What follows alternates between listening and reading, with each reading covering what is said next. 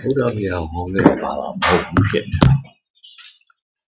ဘုရားဗျာဟောခဲ့တဲ့ဘာသာမဟုတ်ဘူးဖြစ်နေတဲ့အခါကျတော့သူကတစ်မျိုးတိကိုကတစ်မျိုးတိဆံမျိုးလို့ပြောကြတာဒါပေမဲ့အဲ့ဒီတစ်မျိုးတစ်မျိုးစီတိတိနေကြတဲ့သူတွေအားလုံးရဲ့ခြုံလိုက်တဲ့အခါမှာတော့တကယ်ဗုဒ္ဓဘယ်လိုမှကိုသူမပြောခဲ့တဲ့စကားဖြစ်တဲ့ရှိဘဝနောက်ဘဝပေါ့ဗျာ အဲအဲ့ဒါတွေကိုသူတို့ယူကြတော့လားအဲ့ဒါကတော့ကျွတ်တို့ဗုဒ္ဓဘာသာတွေယူတာမဟုတ်ဘယ်ဘာသာဖြစ်ဖြစ်တော့ဘဝကတော့ယူတာကြီးတယ်ပဲတော့ဘဝမယူလို့မဖြစ်ဘူးသူတို့ကလည်း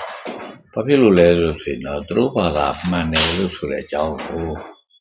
ပြဖို့ရဟာဘာမှပြစရာမရှိဘူးပြစရာမရှိတော့မသိတဲ့နေရာစီကိုထိုးပြီးပြမှာဖြစ်မှာဆိုတဲ့အခါကျတော့ နောက်ဘဝကိုထိုးပြရမှာပဲဒီကကောင်းတာတွေမကောင်းတာတွေဟာကောင်းကျိုးတွေမကောင်းကျိုးတွေဖြစ်တာပေါ့လို့ဆိုမျိုးလို့ပြောတာပေါ့နော်ကောင်းကျိုးတွေမကောင်းကျိုးတွေကဒါရွယ်တကယ်လက်တွေ့ဖြစ်တာဟုတ်ရဲ့လားလို့ဆိုလက်တွေ့ဖြစ်တာကိုတရုတ်တကောင်လေးနဲ့ပြီးပြီးသားသားပြောပြတယ်အဲ့လိုမပြနိုင်တဲ့အခါကျတော့ဘယ်ပြတယ်လို့ဆိုရင်တော့ဘဝပဲပြတာအဲကြောင့်မို့လို့ ခရစ်ယာန်လည်းတော့ဘဝပဲဟောတယ်သူလည်းပဲနေပြီးသားလို့သူတို့ဘုရားသခင်ကဒီလူကတော့ဖြင့်လူတော်လူကောင်းပဲလို့အတိမပြုလိုက်လို့ရှိတယ်လူကောင်းရင်ဘုံခေါ်သားမယ်လို့ပြောတာပဲမွတ်စလင်လည်းဒီနည်း၎င်းပါပဲလူကောင်းရင်ဘုံနဲ့အတူတူပဲလို့ပြောကြလို့ဟိန္ဒူကတော့ရုပ်တို့ရဲ့ရိုးရာဗုဒ္ဓဘာသာနဲ့တွားတူနေတယ်အဲသူကတော့ဘယ်လိုဆိုရင်တော့နောက်ဘဝကောင်းမှာ ဒီဘဝကောင်းလို့ရှိရင်နောက်ဘဝကောင်းမှာဒီဘဝညံ့နေတာဟာနောက်ဘဝညံ့နေလို့ပဲဒီဘဝကောင်းနေတာလည်းနောက်ဘဝနောက်ဘဝကောင်းခဲ့လို့ပဲတဲ့ဟောအဲ့လိုပဲတို့တို့ဗမာပြည်မှာဆိုရင်တော့ဘာသာတရားဆိုလို့၄ခုလောက်ရှိတာလို့ပြောကြပါတော့နော်ခရစ်ယာန်ရဲ့မွတ်စလင်ရဲ့ဟိန္ဒူရဲ့ရုပ်ရိုးရဗုဒ္ဓဘာသာရဲ့တခြားဘာသာတွေတော့ရှိခြင်းရှိပါပါသိကြည့်မထင်ရှားမပေါ်လို့ဟောတော့အဲ ဘာသာတရားကြီးတွေဆိုရင်ဒီ၄ခုလောက်ပဲကြည့်ရတာပါပဲအဲ့၄ခုလောက်တိုင်းတိုင်းကလည်းအဲဘာပြောနေတယ်လို့ဆိုရှင်တော့ဖြင့်သူနောက်ဘဝပဲဆုံးတတ်တာအဲ့လိုဆိုတော့အဘုရားဆိုလို့ရှိရင်လည်းပဲနောက်ဘဝပဲပဲပြောတယ်လို့ဆိုတာမျိုးလို့လို့တသာသနာတို့လို့ပြောနေကြတာမှန်ပါဗျာ ကျွတ်တို့ဗမာပြည်သာသနာလေးပါမဟုတ်ဘူးဒီဝရင်းနေရောတရုတ်သာသနာတွေလည်းအဲ့တိုင်းပဲဂျပန်သာသနာတွေလည်းအဲ့တိုင်းပဲဗီယက်နမ်သာသနာတွေလည်းအဲ့တိုင်းပဲကိုရီးယားသာသနာတွေလည်းအဲ့တိုင်းပဲပြောမစင်တော့ဒီကမ္ဘာလုံးမှာရှိတဲ့သာသနာတွေဟာအဲသူတို့ဘာလို့ကြတယ်လဲဆိုတော့နောက်ဘဝပဲပြောနေကြတာနောက်ဘဝမပြောလို့လည်းမဖြစ်တော့ဘူး ကျွတ်တို့ဘုရားဘာသာကယူထားတာကလည်းကံယူတာဟုတ်ကံယူတာဆိုတော့ဒီကံကအဲတကယ်လို့မှအကောင်းလို့ရအကောင်းဖြစ်တယ်အဆိုးလို့ရအဆိုးဖြစ်တယ်အဲအဲ့လိုမျိုးလို့ပြောတာဆိုတဲ့အခါကျတော့အဲ့ဒီအကောင့်တွေအဆိုးတွေလောက်တဲ့ကံကလူကလောက်တာဆိုတော့အစဆုံးကံကဘယ်ကနေစဖြစ်တာတော့လို့မေးရင်ဟောအဲ့ဒါအခက်ပဲ အကောင်မရှိခင်တော့ကကျွတ်တို့လူမရှိခင်တော့ကလူဖြစ်ဖြစ်တဲ့ကံကိုဘယ်လိုလောက်တာတော့လို့မေးရင်ကျွတ်တို့ဘုရားဘာသာလည်းတိတ်သွားရမယ်ဟာပဲအဲ့ဒါကိုငယ်ငယ်ကကလေးဟိုကလေးတော့တော့မဟုတ်ဘူးလည်းနဲ့ရှိပါကြားဘူးတယ်အဲ့လိုပဲကချင်ပြည်နယ်ထဲကမိသားစုတစုလို့ပြောတယ်လူကလေးတယောက်ကနေပြီးတော့မေးလိုက်တာ အဲသူ့ရဲ့ဒီသူပြောနေတဲ့ပုဂ္ဂိုလ်အဲ့ကဘယ်သူကစလုပ်တာကိုင်းအစအစဆုံးကံကိုဘယ်သူကလုပ်တာလဲတတ္တဝါမှမရှိသေးတာတတ္တဝါဆိုတာကိုကကံကြောင့်ဖြစ်တာလို့ပြောတော့တတ္တဝါမရှိဘဲနဲ့ကံကဘယ်ကနေရတာအဲ့လိုမျိုးလို့အမေးခံရလို့ရှိရင်ကျွတ်တို့တော့ဗတာလဲငိုက်ထွက်သွားပါပဲ ဘာဖြစ်လို့အဲ့လိုနိုင်ထွက်သွားမှာလဲလို့ဆိုကာမမရှိသေးတာဟောအဲ့လိုတတ္တဝါမှမရှိသေးတာဟောတတ္တဝါဆိုတာကိုကကံကနေပြီးတော့ဖြစ်စေတာလို့ဆိုတဲ့အခါကျတော့အဲ့ကံအစာဆုံးကံဘယ်ကဖြစ်တာတော့ဘယ်သူကဖြစ်တာတော့ဆိုတာတကယ်မေးလိုက်လို့ရှိရင်အဲ့ဒီဟာအတွက်ဖြေရမရှိဘူးအဲ့လိုဖြစ်တယ်ဗျာခရိယာနိုးလဲဒီလိုလိုပါပဲဘုရားသခင်ကနေပြီးတော့ဒီ ကမ္ဘာလောကကြီးကိုဖန်ဆင်းထားတယ်တို့ကိုလည်းဖန်ဆင်းထားတယ်အဲအဲ့လိုမျိုးလို့ခံယူကြတာပေါ့နော်အဲ့လိုဆိုရင်အဲ့ဘုရားသခင်ဆိုတာကြီးဘယ်မှာတော့ဘယ်လိုတော့ဘယ်လိုမြင်မှုတတော်တကယ်တော့ခရိယံဘုရားရှိခိုးကြောင်းနေပါဆိုရင်လည်းအဓိကသူတို့ဘုရားရဲ့ဂုံကြီးတွေပဲသူတို့လောက်ကြရတာလို့ဆိုတော့သူတို့ဘုရားကိုပဲသူတို့ကနေပြီးတော့အဓိကရှိခိုးကြတာအဲ့ဘုရားဆိုတာသူတို့ရဲ့အရှင်သခင် သူတို့ကိုဖန်ဆင်းတဲ့ပုဂ္ဂိုလ်ကြီးသူတို့ကိုတိဆောက်ထားတာဘယ်သူတိဆောက်တာလဲဆိုတော့အဲ့ဘုရားတိဆောက်တာပဲလို့အဲ့လိုဆိုတော့အဲ့ဘုရားဘယ်မှာတုံးလို့ဆိုခုခေတ်တည်းလောက်ရောက်လာလို့သိပ္ပခေတ်လောက်ရောက်လာတဲ့အခါပါဆိုရင်တော့ဟောအဲ့ဘုရားသခင်ဆိုတာလဲဝိုးဝါဒတော့ဖြစ်သွားပြီဒါကြောင့်ဥရောပတို့ဆိုတဲ့နိုင်ငံတွေတို့အမေရိကတို့ဆိုတဲ့နိုင်ငံတွေဆိုဒီချိန်တော့တကယ်ကိုထွန်းကားတာပေါ့ခရီးရတယ်ဟာ ဒါပေမဲ့ခုတော့တဖြည်းတဖြည်းနဲ့လူတွေနည်းနည်းနည်းနည်းလာကြတယ်လို့ပြောပြရတယ်ဟိုနော်ဝေးလို့ဆိုလို့ရှိရင်ဖင်လန်လို့ဆိုရတဲ့ဆိုလို့ရှိရင်ဘဝပြရတီဟိုတနေ့သွားကြရဆိုပဲဒီရမော်နန်အဲစီခိုးတဲ့လူတွေဒီထိုင်းကိုထွက် ထိုင်းကနေပြီးတော့မှတတိယနိုင်ငံဖြစ်တဲ့အဲနိုင်ငံတွေကိုသွားတဲ့အခါကျတော့ဖင်လန်ဘုတ်ခါဖင်လန်သွားနေကြတယ်လို့ပြောတဲ့လူဖင်လန်ဘုတ်အဲ့လိုပဲနော်ဝေးသွားနေကြတယ်ဆိုတော့နော်ဝေးဘုတ်ပေါ့အဲ့လိုအဲ့နော်ဝေးတို့ဖင်လန်တို့ဆိုရင်အဲ့ဒီလူတွေရောက်လာတာကိုတော်တော်ဝါတာတယ်တဲ့ဘာဖြစ်လို့တော့လို့ဆိုလို့ရှိရင်သူတို့ခရိယန်ကျောင်းနေပါတဲ့ဖျက်ရှိခိုးတဲ့သူအတိတ်ရှိတော့ဘူး ခရိယန်ကျောင်းကိုဖျက်ရှိခိုးလာတယ်သူကအဲဒီကကရင်နေတို့ဘာတွေတို့ဆိုတဲ့သူတွေလည်းခရိယန်နေကိုခရိယန်နေဖြစ်တဲ့အဲ့ဒီနိုင်ငံတွေရောက်သွားတဲ့ခါကျသူတို့အဲ့ဒီနိုင်ငံရောက်တဲ့အခါမှာဖျက်ရှိခိုးကြတာအဲ့တော့အာခရိယန်ကျောင်းတွေကိုစီဝေးသွားတာဆိုပဲဗျာအဲအဲ့လိုဆိုတော့ဒါအမေရိကန်တို့လည်းဒီတိုင်းပါပဲ သူတို့နိုင်ငံမှာရှိနေတဲ့ခရိယန်ကျောင်းတွေဆိုရင်လည်းရောက်ရောက်ပြကြတယ်လို့ပြောတယ်နော်ရောက်ရောက်ပြကြရတယ်လို့ဆိုတာခရိယန်တက်တယ်လို့သိမရှိတော့ဘူးဆိုတာတဖြည်းတဖြည်းနဲ့ကျောင်းကိုပြုတ်ပြုတ်ပြုတ်ပြုတ်သွားတာလို့ပြောကြတယ်နော်တစ်ချိန်တော့ကတော့ဒီသိပ္ပပညာအပိုင်းဆိုင်ရာလည်းဘာတိမှမရှိတာဆိုတဲ့အခါကျတော့ဘုရားတကယ်ကမင်းတို့ကိုဖန်ဆင်းတဲ့လို့ဆိုရင်ကိုပဲဟုတ်ပါတယ်ဗျာတဲ့ဆိုပြီးသူတို့ကလည်းလိုက်နာကြတယ်သူတို့အခုကြတော့ တို့ဘုရားသခင်ကဖန်ဆင်းတယ်ဆိုတာဘယ်လိုလုပ်ခိုးလို့လဲဟာဆိုတဲ့ဟာမျိုးလို့ဖြစ်သွားပြီဒါလူတိုင်းတော့မဖြစ်ပါဘူးတော်တော်အနာတဲ့လူတွေဆိုတာတော့လည်းမဖြစ်ကြပါဘူးလူတွေဆိုတာလည်းယေဟောရားဖြစ်တော့ကိုယ်ရဲ့စာဝတ်နေရေးပဲလှုပ်ဆောင်ဖို့ပဲရှိပါတယ်အနာကြပါတယ်အဲအဲ့လိုဆိုတဲ့အခါကျတော့ခရိယာန်တော့ရှိတော့ရှိနေသေးတယ်ခရိယာန်တန်ပေါင်း2000ကျော်လောက်ရှိတယ်လို့ပြတော့ပြောပါတယ်ဗျတော့အဲ့လိုရှိသေးပေမဲ့လို့လည်းပဲ တဖြည်းတဖြည်းနဲ့တော့ဒီသိပ္ပပညာတွေကိုလူတွေကသိသွားကြတဲ့အခါကျတော့တို့ဘုရားသခင်ကဖန်ဆင်းတယ်ဆိုတာကိုသူတို့လည်းလက်မခံတတ်ပါဘူးဗျခရိယာတွေလည်းအဲအဲ့လိုဖြစ်သွားကြပါတယ်တခြားလည်းလက်ခံလို့မရတော့ဒါပဲလက်ခံနေကြတာပေါ့နည်းနည်းလေးစိတ်ထက်ထက်တန်တန်နဲ့ရှိတဲ့လူတွေကြတော့ကဲဘာသာမဲ့တို့တော့ယက်တိလိုက်တော့မယ်ကွာဆိုပြီးတော့ယက်တိကြတာပေါ့နော်အဲ နော်ဝေးတို့ဘာလို့ဆိုရင်လဲဘာသာမဲ့တွေကကိုက60ရာခိုင်တုံးလောက်ရှိတယ်ဆိုတာပဲပြတော့အဲလူတရားလူရည်တရားဆိုလို့ရှိရင်60ရာခိုင်တုံးလောက်ကဘာသာမဲ့တွေလောက်ကြတယ်ဆိုတော့ကျန်တဲ့တွေကတော့ဘယ်သိဟုတ်တော့လဲလို့သူပြောရမှာပေါ့နော်မှန်ပါဗျာဒါသူတို့ကလူလဲနေတဲ့ကြပေါ်လွင်တာပေါ့ဟိုကတော့လူများတယ်အမေရိကန်တို့ဘာလို့ဆိုရတာကြတော့အဲ့လိုများတဲ့အခါတွေမှာတော့သူကတော့အဲခရိယာနေတော့များသေးတဲ့နဲ့တူပါတယ် အဲများသေးတဲ့နဲ့တူတယ်လို့ကပြောတာတကယ်တော့ခရိယာလည်းမပီသားတော့ဘူးပြောကြလို့မွတ်စလင်လည်းနည်းနည်းတော့ပီသားတယ်လို့တော့ရှိတယ်ဘာလို့လဲဆိုတော့မွတ်စလင်ကဘာသာတရားတွေတဲ့ဘာနောက်ဆုံးပိတ်မှပေါ်တဲ့ဘာသာတရားဆိုတဲ့အခါကျတော့သူကနောက်ဆုံးမိမ့်မှပေါ်တဲ့ဘာသာတရားကလူမှုရေးပါတော်တော်ကြီးကိုသူတို့ကတိတ်တိတ်တဲတဲလှုပ်ပုံရတယ်တိတ်တိတ်တဲတဲလှုပ်တယ်ဆိုကိုပွေးထားတဲ့သားတို့သမီးတို့ဆိုရင်ကိုပေးစားတဲ့ လေယောက်ျားတို့ဇနီးမယားတို့နဲ့လူချမှသူတို့လည်းပေးကြတယ်လို့ဖြစ်နေတယ်ပေါ့နော်ဒါခိတ္တထဲကိုတိတ်မစင်းဘူးဖြစ်နေတယ်သူတို့ကတကယ်လို့မိဘရဲ့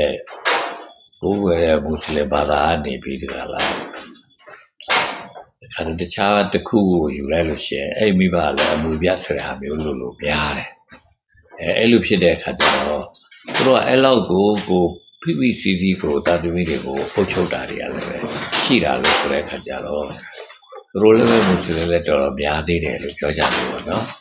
သူတို့လည်းများသေးတယ်လားပြောရမယ်တကယ်တော့မပြီးသားပါဘူးလို့သူပြောရတယ်ပေါ့နော်သူတို့လည်းပဲဘုရားသခင်ကပဲသူတို့ဘုရားသခင်ဖြစ်တဲ့အာလာကပဲသူတို့ဖန်ဆင်းတယ်လို့ဆိုတာမျိုးလို့ယူဆတာပဲဗျာလားဟိန္ဒူဆိုလဲဘာထူးလဲလို့ဆိုကြဟိန္ဒူကတော့ သူ့စီကနေပြီးတော့အတ္တမာလို့ဆိုတဲ့သူ့ကိုယ်ထဲမှာရှိနေတဲ့အတ္တလေးပေါ့နော်အဲ့ဒါကိုထုတ်ပြီးကြလားတတ္တဝါဖြစ်နေသူမွေးလိုက်တာပဲ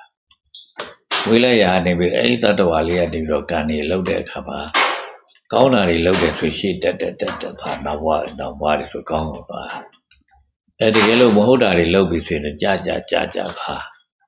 အဲအဲ့ဒီ အတ္တနေပြီးတော့သူဖြစ်တကယ်စင်စင်ရဲ့တတ္တဝါဖြစ်နေတယ်သူဖြစ်နေရတယ်နောက်ဆုံးပြီးကြတော့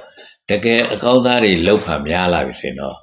အဲမဟာတမတွေပါဖြစ်လာအဲမဟာတမတွေကနေဖြစ်လာပြီးဒီတဲ့နောက်ဆုံးပြီးကြပရမတ္တမဆိုတာဖြစ်သွားဟောတွေ့ပြမဖြစ်သွားပြမကြီးနဲ့ပေါင်းသွားပြီလို့ပြောရမှာပေါ့နော်တော်တော်ကိုသူလည်းပဲမသေးချာမရေရတဲ့အယူဆလို့ပြောကြပါလို့ဒီဘာသာကြီး၄ခုကိုတို့က အများဆုံးပြောလိုက်တာပါလေးခုလုံးကဘယ်ဟာမှကိုတေချာရေရာမရှိဘူးอ่ะတေချာရေရာဆိုတာဘာနဲ့ပြောမတုံးလို့ဆိုတဲ့အခါကျတော့ခုခေတ်သိပ္ပံနဲ့ပြောရမှာပေါ့အဲသိပ္ပံပညာကတော့ဒါဒီလိုဖြစ်တယ်လို့ပြောပြီးသွားရင်အဲ့ဒါလက်တွေ့ပြလို့ရတယ်အဲဒါဒီလိုဖြစ်တယ်လို့ပြောလို့ရပြီပဲလက်တွေ့ပြလို့မရဘူးလို့ဆိုလို့ရှိရင်တော့ဒါတော့ဖြစ် ဒါမဟုတ်တာပဲလို့ဆိုလို့ပြောရမှာပေါ့နော်တကယ်တော့ကျုပ်တို့လူတွေတိုးတက်ကြတယ်လို့ဆိုတာလူတွေသိကြတယ်အဲ့သိကြတာတွေဟာတကယ်လို့လို့ဖြစ်တဲ့ဟာတွေဖြစ်ရကျုပ်တို့ကျုပ်တို့မြတ်စွာဘုရားရဲ့တရားတော်ရဲ့ဂုဏ်ကြီးပြောတဲ့အခါမှာဆိုသက္ခတော်ဘဂဝတာဓမ္မောတန်ဒိဋ္ဌိကောအာဂါလိကောအေဟိပတိကောဩပနေဟိကောပိစဒဝိရိဒဘောဆိုတော့ အဲ6ချက်ပြတယ်ဒီ6ချက်ပြတာအဲတို့တို့လည်းပဲဘုရားရဲ့တရားတော်ရဲ့ဂုဏ်ကြီးလို့သူသိတာပေါ့နော်အဲခုတည်းတည်းကြီးလာလို့ပိုးပို့ပြီးတော့တွက်တွက်တွက်လိုက်တွက်လိုက်လာတဲ့အခါကျတော့ဟာဒါဘုရားရဲ့တရားဂုဏ်ကြီးကိုမဟုတ်ဘူးဟာလို့အမှန်တရားရဲ့ဂုဏ်ကြီးပဲလို့ဘုရားတရားအရိယတရားတာမန်လူတွေရဲ့တရားကအဲ သမုဒိတရား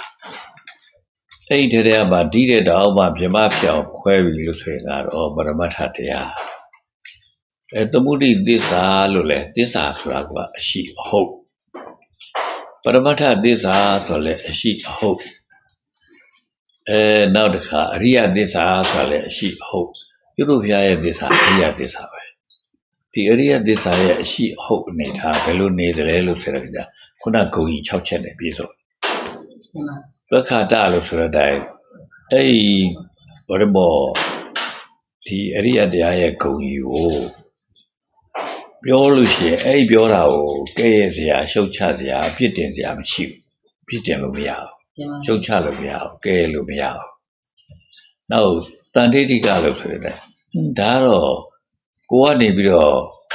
နာကြားလဲရလို့စိတ်ဝင်စားပြီးသွားပြီလို့ဆိုရင်တော့ဒါ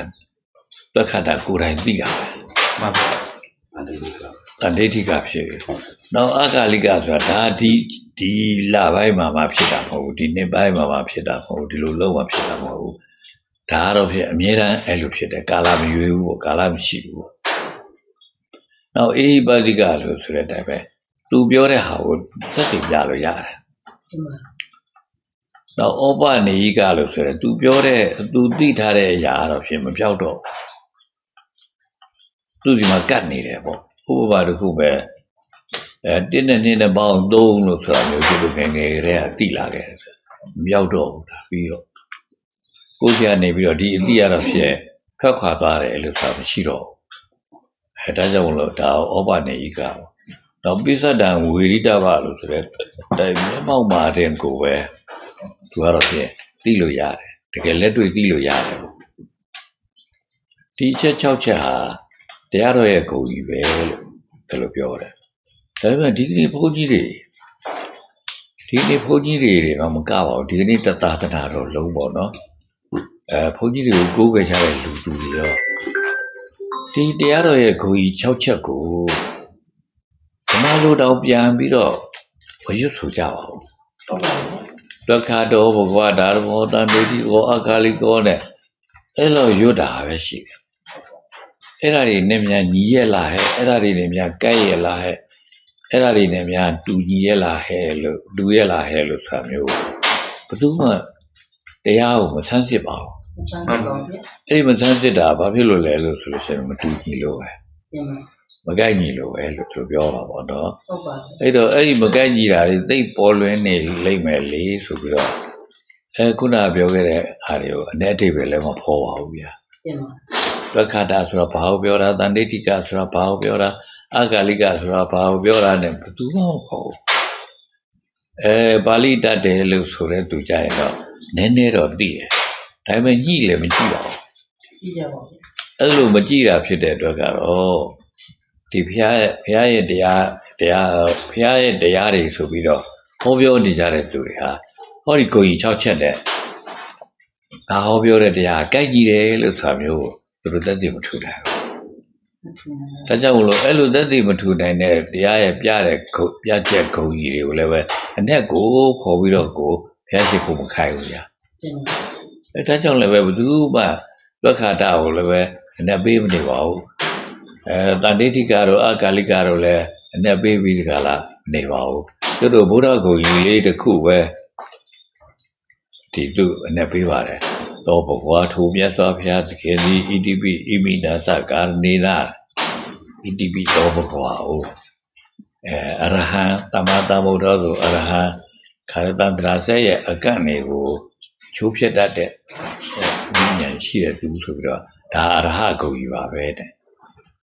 ဒါအရဟဂုံကြီးကိုလည်းအနက်ပေးပါတယ်တမတာဗုဒ္ဓဂုံကြီးလည်းအနက်ပေးပါတယ် 내ပြီးတော့တော့မှန်တာမဟုတ်ဘူးဗျာတမတမုဒ္ဒဂုံကြီးဆိုရင်ညီရတန်တရား၅ပါးကိုသိတယ်တဲ့ဆိုပြီးတော့ဒီလိုပြောတာပေါ့ဗျာနော်ကျင်းပါဗျဒီခါတည်းဘာလဲညီရတန်တရား၅ပါးဆိုတာဘာတွေလဲလို့ဆိုတော့ဟုတ်တော့ဒီခါတည်းပြည့်ကြတ်တွေလည်းပါပါတွေလည်းပါနေပေါ့ဗျာနော်အဲအဲ့လိုတွေပေါ့ဗျာဝိဇ္ဇာစရဏတမ္ပဏလည်းမသိပါဘူးဘုရားဝိဇ္ဇာဖြစ်တယ်ဗျာပြောရတာဘာဝိဇ္ဇာဖြစ်တာတုံးလို့ဆိုတော့မသိပါဘူးသိပါ တကယ်ကတော့စရဏတမ္ပဏဝိဇ္ဇာစရဏတမ္ပဏဆိုစရဏဆိုတာအကျင့်တမ္ပဏအပြည့်စုံတယ်အကျင့်အကျင့်နဲ့ပြည့်စုံတယ်အတိဝိဇ္ဇာကိုဝိဇ္ဇာလို့ပြောတာဝိဇ္ဇာတွေကအမျိုးမျိုးရှိတာပဲဖဲရရိုက်တဲ့သူကလည်းဖဲရိုက်တတ်တဲ့ဝိဇ္ဇာကျင်းပါသူများပစ္စည်းပဲခိုးရတဲ့သူကလည်းသူများပစ္စည်းခိုးရတဲ့ဝိဇ္ဇာအစရှိဖြင့်ဘာဖြစ်ဖြစ် အလုတ်ကလှုပ်ရင်းလှုပ်ရင်းလှုပ်ရင်းကနေပြီးတော့အဲ့ဒီအလုတ်ကိုတော့ဝိဇ္ဇာပေါက်သွားတာပဲမဟုတ်တာလှုပ်လှုပ်ဟုတ်တာလှုပ်လှုပ်ဝိဇ္ဇာပေါက်တာပဲဝိဇ္ဇာပေါက်ပြီလို့ဆိုရင်တော့သူလှုပ်တမျှတော့အောင်ပြင်တာပေါ့အဲအဲ့ဒီဝိဇ္ဇာမျိုးလားလို့ဆိုရင်အဲ့ဒါလည်းဟောလည်းမဖြစ်ဘူးဘာလို့ဆိုတော့ဒီဝိဇ္ဇာကခုနဇာနေရနေပြီးတော့ပွားကြရင်ကနေပြီးတော့ဖြစ်လာတဲ့အတိဝိဇ္ဇာကိုအဲ့လိုဆိုတော့လေ ဇာနေဘကိုသိရမှာမဟုတ်တာဆိုတဲ့ခါကျတော့ဝိဇ္ဇာလည်းမသိဘူးဇာမသိဘူးလို့ဆိုရင်ဘယ်လိုလုပ်သိတယ်လဲဆိုတော့မင်းဇာဆိုတာမိုးပေါ်ပြန်တာလို့သိတာလို့ဆိုတော့ဟောပြီးရောဘာမှကိုမဟုတ်တော့ဘူးလို့ပြောကြဆိုပါဗျာနော်ဟုတ်ပါဘူးအဲ့တော့ဝိဇ္ဇာစရဏတပ္ပဏလည်းမသိဘူးတုကတလည်းမသိဘူးအာအကုန်လုံးဂုံတော်ကိုးပါးလုံးပါပဲဘုရားရဲ့ဂုံတော်ကိုးပါးလုံးမသိပြီပဲလို့ သောကဣတိပိအရဟံဆိုတာတော့မှအရဟံဆိုတာဘာတော့လို့ဆိုတော့တကယ်တော့အာသန္တရာဆက်ရဲ့အကန့်တွေကိုချိုးဖြတ်တယ်လို့ဘာလို့သန္တရာဆက်တောင်လည်းသိသိကြတာမဟုတ်ဘူးနဲ့အဲ့ဒီအကန့်တွေဆိုတော့ဘိုးမသိကြတော့ဘူးလို့ပြောကြပါလို့အဲ့ဒါတွေကိုချိုးဖြတ်တယ်လို့ဆိုတာတွေကဒီတော့တကယ်ကတော့အလားဆိုတာယဟန်ပြောတာပဲကျင်းပါဘုရားဗုဒ္ဓဟာယဟန်တော်တဲ့ဒါတမနာဟိုတဲ့ဘဂေါရမတမနာဘောတမနာဂေါရမ တမနာဘောတမနာဆိုတာဘာတော့ဆိုလို့ရှိရင်ကတော့အဲသူကတော့ဒါလူမဟုတ်ဘူးလူမဟုတ်ဘူးလို့ဆိုတာကလူဆိုတာဘာတော့လို့ဆိုရင်လူဆိုတာသူ့အုပ်ချုပ်ရေးတဲ့သူနေနေတဲ့သူပေါ့ဒါလူလို့ပြောတာအုပ်ချုပ်ရေးမရှိဘဲနဲ့အလွတ်နေနေပြီဆိုရင်သူလူမဟုတ်ဘူးလို့ပြောကြတယ်လူအဖွဲ့စည်းတဲ့သူမဝင်တဲ့အတွက်သူလူမဟုတ်ဘူးလို့ပြောပြောလို့တာပါဒါဒါပြောလို့စင်တော့အရဟံကိုပြောပါတယ်တကယ်ဆိုတော့အရဟံဆိုတာ ဟောငါတို့ဘုရားတကယ်ယဟန်ပဲဟာအဲအဲ့လိုသိရမှာပေါ့နော်ကျမသူတို့ဘုရားကိုယဟန်လို့သိရင်တော့မှပဲသူ့တပည့်ဖြစ်တဲ့ယဟန်နေနဲ့ရောနေပါဆိုတဲ့အနေအထားမျိုးဆိုဒါကိုဂုံကြီးလို့တောင်သိထင်တဲ့ပုံမရှိပါဘူးဆိုလိုတာတော့ဘုရားကိုဂုံကြီးဘုရားရဲ့ဂုံကြီးကိုတော့အ내တော့ခေါ်ကြပါရဲ့အဲ့ဒီအ내တွေဖောဖောပြီးတော့လည်းဘုရားရှိခိုးတဲ့သူတွေလည်းရှိခိုးကြပါရဲ့ဒါအလုံးလို့လို့ပဲဘု ရားကုံတော်တော့အ내ဖောပြီးကြဖောတာလည်းအမှားမှားယွင်းယွင်းနေပါလို့ပြောတယ်ဒါဒါဘယ်သူပြောခဲ့တာတော့ဆိုရင်တော့ရှင်ဘုရောသာပြောခဲ့တာရှင်ဘုရောသာဖော်ခဲ့တဲ့အနဲ့တည်းထားပါတော့မှားရွေးနေဆိုတာလည်းပြောလို့တော့နားလေခြင်းစရာမရှိပါဘူးလို့ပြောကြတယ်အဲမှားရွေးအောင်တော့သူ့တော့သူ့ကုန်ကြီးတော့အနဲ့တော့ဖော်တယ်ဗျာကျမအဲခုနဓမ္မကုန်ကြီးကအနဲ့မဖော်ပါဘူးဗျာသောခတ်တော်ဘုရားတော်မောလို့ဆိုတော့ ဓမ္မဘုကုန်ကြီးအနဲ့ဖော်ရင်တရားဟောတော့ဟောမှာမဟုတ်ဘူးကုန်ကြီးတွေဟောလို့ဆိုတော့သူတို့တရားဘုရားရဲ့တရားနဲ့မညီဘူးလို့ဆိုပြီးတော့ဟောလို့တရားနာတယ်ဆိုရင်ဒီတရားဟာဂုံကြီးနဲ့ကြိုက်ကလားဂုံကြီးနဲ့ညီရလားလို့ကြည့်ရမှာပေါ့ကျမဂုံကြီးနဲ့မညီဘူးလို့ဆိုလို့ရှိရင်ကိုတရားမဟုတ်ဘူးပေါ့ဒါအဲ့လိုဖြစ်မှာပေါ့နော်ဂုံကြီးနဲ့မညီဘူးလို့ဆိုတာဘယ်လိုလဲလို့ဆိုလို့ရှိရင်တော့ဆိုကြပါစို့တန်တိဋ္ဌိကို ကကိုယ်တိုင်သိရမယ်ဘုရားရဲ့တရားတွေထဲမှာဟောကြားချက်တရားတွေထဲမှာတတုတ်တွေ့ရတယ်ဗျာဒီချာလေးဘာတွေ့ရတယ်လဲလို့ဆိုလို့ရှိရင်အဲသူကတဲ့တရားဟောတာကတဲ့သူသိတဲ့ဟာပဲဟောတယ်သူသိတဲ့ဟာဟောလို့ရှိရင်လည်းပဲသူဟောတာကိုသိမဲ့လူကိုပဲသူဟောတယ်ပေါ့ကျမအဲသူဟောတာကိုသိမဲ့အနေအထားမရှိတဲ့သူဆိုသူမပြောဘူးလေကျမဟောအဲ့လိုမျိုးလို့ပြောတာဆိုတဲ့ခါကျတော့တ ကယ်ကိုတန်ဋိဋ္ဌိကလို့ဆိုတဲ့တရားကိုပြောကြတယ်ဆိုသိကြတယ်အဲသိကြတဲ့ဟာတွေကိုပဲပြောတဲ့ခါကျတော့ဟောဘယ်သူမှအဲ့ဒါအနဲ့အတိတ်ပဲမဖော်ဘူးအနဲ့အတိတ်ပဲဖော်လို့အဲ့ဒီအနဲ့အတိတ်ပဲသိကြတယ်ဆိုရင်ဟဲငါတို့ဟောနေတဲ့ဆရာတော်ကဖြင့်သူဟောတဲ့တရားလဲသူလည်းမသိပါဘူးသူလည်းမသိပဲနဲ့တို့ဟောတယ်ဆိုရင်တော့ဘယ်လိုလုပ်ဖြစ်မှာအဲတို့ကလည်းဘယ်လိုလုပ်သိမှာသူမသိတဲ့ဟာဟောမှာတော့တို့လည်းမသိတာဖြစ်မှာပေါ့ အဲတော့သူတရားနာလို့သူလည်းမသိမသိတာဟောတယ်တို့လည်းမသိတာနာရတယ်ဆိုဘာဖြစ်မှာလဲဒါတရားလည်းဟုတ်ရလားပေါ့ဟုတ်ပါဟောဘူးတရားလည်းမဟုတ်ဘူးဆိုရင်တော့ပြီးရောပေါ့အဲ့လိုဖြစ်မှဆိုရင်လည်းအတွက်လူတောင်ပြုတ်တော့ယူဆတယ်တရားတော်ရဲ့ဂုဏ်ကိုအတတ်မဖို့ဘူးအဲအဲ့လိုရှိပါတယ်ဗျတကယ်တော့ဒါခုနစကားကနေအပြင်ထွက်လာပြီးပြောတဲ့စကားပါဗျကျမခုနစကားပင်မပြောချင်တာကဟာတကယ်ကြတော့ဟေးလို့တို့ တရားတော်ရဲ့ဂုံကြီးဆိုတာဟာကျုပ်တို့တရားရဲ့ဂုံကြီးလို့သာပဲဒီလိုထင်တာကျမဘုရားဟောပြောတဲ့တရားရဲ့ဂုံကြီးလို့သာထင်တာဥပမာတို့ပဲအဲဒီဆရာကနေပြီးတော့ဗါတဲ့ခရပြင်တဲ့ဟာတွေကအဲရကောအဲအဲအကွန်အဲအကွန်နေကိုဟုတ်တော့တခါတည်းဒါဒီလိုပြရတယ်ဒီလိုပြရတယ်ဒီလိုလုပ်ရတယ်ဒီလိုဒီလိုဖြစ်နေတာကွာဒီလိုဖြစ်နေတာလို့ဆိုတာမျိုးလို့ပြောတယ်ဆိုရင် အဲ့ဒီပြောတဲ့စကားတွေကတကယ်တော့သိပ္ပနဲ့ပြောတာတွေပါဗျာနော်ကျမဗျာသိပ္ပနဲ့ပြောတာတွေကအဲ့လိုတကယ်ခမရရဲ့အဲကွန်ဒီလိုလုပ်ရင်တော့ပြပါကွာဒီလိုဆိုရင်မှမှန်တာကွာနဲ့ကောင်းမှာကွာနဲ့ခင်ဗျားပြောလိုက်တယ်ဆိုရင်အဲ့ဒီပြောစကားကိုကဲ့ရလို့ရပါမလားရပါဘူးထုတ်ချလို့လည်းရပါဘူးလားမအရပြစ်တင်လို့လည်းရပါဘူးလားဗျာဒါသက်ခတ်တာပဲဗျကျမစကကောင်းပဲပေါ့ဗျာမှန်ပါဟုတ်တယ်လားဟောကြည့်သိပ္ပလည်းပဲ စကကောင်းပဲဟောဒီကုံကြီးနဲ့ပြည့်စုံတယ်လို့သူပြောကြတယ်ပေါ့နော်ကျမဗျာကဲတန်ဒိဋ္ဌိကကဲကိုနန္ဒမိုးကနေပြီးတော့ပြောလိုက်တယ်ဆိုရင်ကိုနန္ဒမိုးကသူ့ကိုယ်တိုင်သိပြီးပြောတာမသိတာပြောတာမဟုတ်ဘူးအဲ့လိုဆိုရင်တော့ကြံတဲ့သူတွေနားထောင်တဲ့သူတွေကလည်းပဲအေးဟာဒီလိုတဲ့ဟာလို့ဆိုတော့သိသွားမှာမဟုတ်လားသိပါဗျာကျန်တဲ့လူတွေမသိနိုင်တဲ့ဟာကိုနန္ဒမိုးပို့ချလို့မရဘူးကျမဟုတ်နော် ပပို့ချရင်လည်းလက်ကားဖြစ်မှာပဲကိုယ်မောတာပဲရှိမှာပဲပေါ့နော်တင်ပါဗျာအဲ့လိုဆိုတော့ဒီတန်ဆိုရင်ဒီအဲအကုန်းကိုဒီလိုဖြစ်တယ်လို့ဆိုတာမျိုးလို့ခင်ဗျားပြောလိုက်တဲ့ဒီသိပ္ပပညာတကယ်ကိုကိုယ်ကိုယ်တိုင်သိနိုင်တဲ့ဟာတွေဗျာနော်တင်ပါဗျာမသိနိုင်တဲ့ဟာတွေကိုပြောရတာမဟုတ်ဘူးတင်ပါအဲကိုယ်ကိုယ်တိုင်သိနိုင်တဲ့ဟာတွေအဲအဲ့ဒါဆိုရင်တော့တန်တိဋ္ဌိကပဲပေါ့နော်ဟုတ်တယ်ဗျာ တန်တိဋ္ဌိကဖြစ်တယ်လို့အာတခါအကာလိကဟောလို့မေးတဲ့အခါကျတော့လည်းဘယ်တော့ဖြစ်ဖြစ်ဒီစကားဒီတိုင်းပဲမှန်းနေတာတင်ပါဗျာဘယ်တော့ဖြစ်ဖြစ်ဒီစကားဒီတိုင်းမှန်းနေတာဖြစ်တဲ့အတွက်အချိန်ဒါဒီခိတာမှန်တာကဒီအဲဒီကနေ့လာမှန်တာနေ့ပြန်ဆိုရင်တော့မှန်လို့မရဘူးနောက်ခေတ်ဆိုရင်တော့မှန်လို့မရဘူးလို့ပြောလို့မရဘူးပေါ့နော်တင်ပါဗျာဟောဒါဆိုတော့ကာလမရှိဘူးဒီအမှန်တရားပေါ့နော်ဒီသမုဒိတရားလည်းပဲ ပရမတ်တရားဒီသမုဒိတရားလည်းလည်းမရှိဘူးပေါ့နော်ကာလမရှိဘူးပေါ့အကာလိကပဲပေါ့အဲအေဟိပတိကဆိုဒီလိုဖြစ်တယ်ဒီလိုဖြစ်တယ်ဆိုရင်အဲ့လိုဖြစ်တာကိုတကယ်ကိုတက်တွေမပြနိုင်ဘူးလားဆိုတက်တွေကိုတိတ်ပြနိုင်တာပေါ့နော်တင်ပါအဲဒါကြောင့်မလို့အေဟိပတိကပေါ့နော်တင်ပါ။ဟောတော့အဲ့လိုမျိုးလို့သိပြီးသွားရဲ့ဒီအတိကမှားတယ်လို့ပြောလို့မရတော့ဘူး။ဒီအတိကမှန်တယ်လို့ဆိုရကြတော့ဟောဒါဆိုရင်တော့ ဩပနေကဖြစ်သွားမှာမဟုတ်လားဗျာဖြစ်သွားမှာပါဗျာ။ဟောဩပနေကပိဿဒဝိရိတဘတကယ်ကိုလက်တွေ့ကိုလည်းပဲအကျိုးခံစားရတဲ့ဟာသိတာပဲလို့ဆိုမျိုးလို့ဖြစ်တော့ပိဿဒဝိရိတဘဖြစ်တာ။အဲ့တော့ဟောတို့ရဲ့ဘုရားရဲ့အရိယတရားသာလင်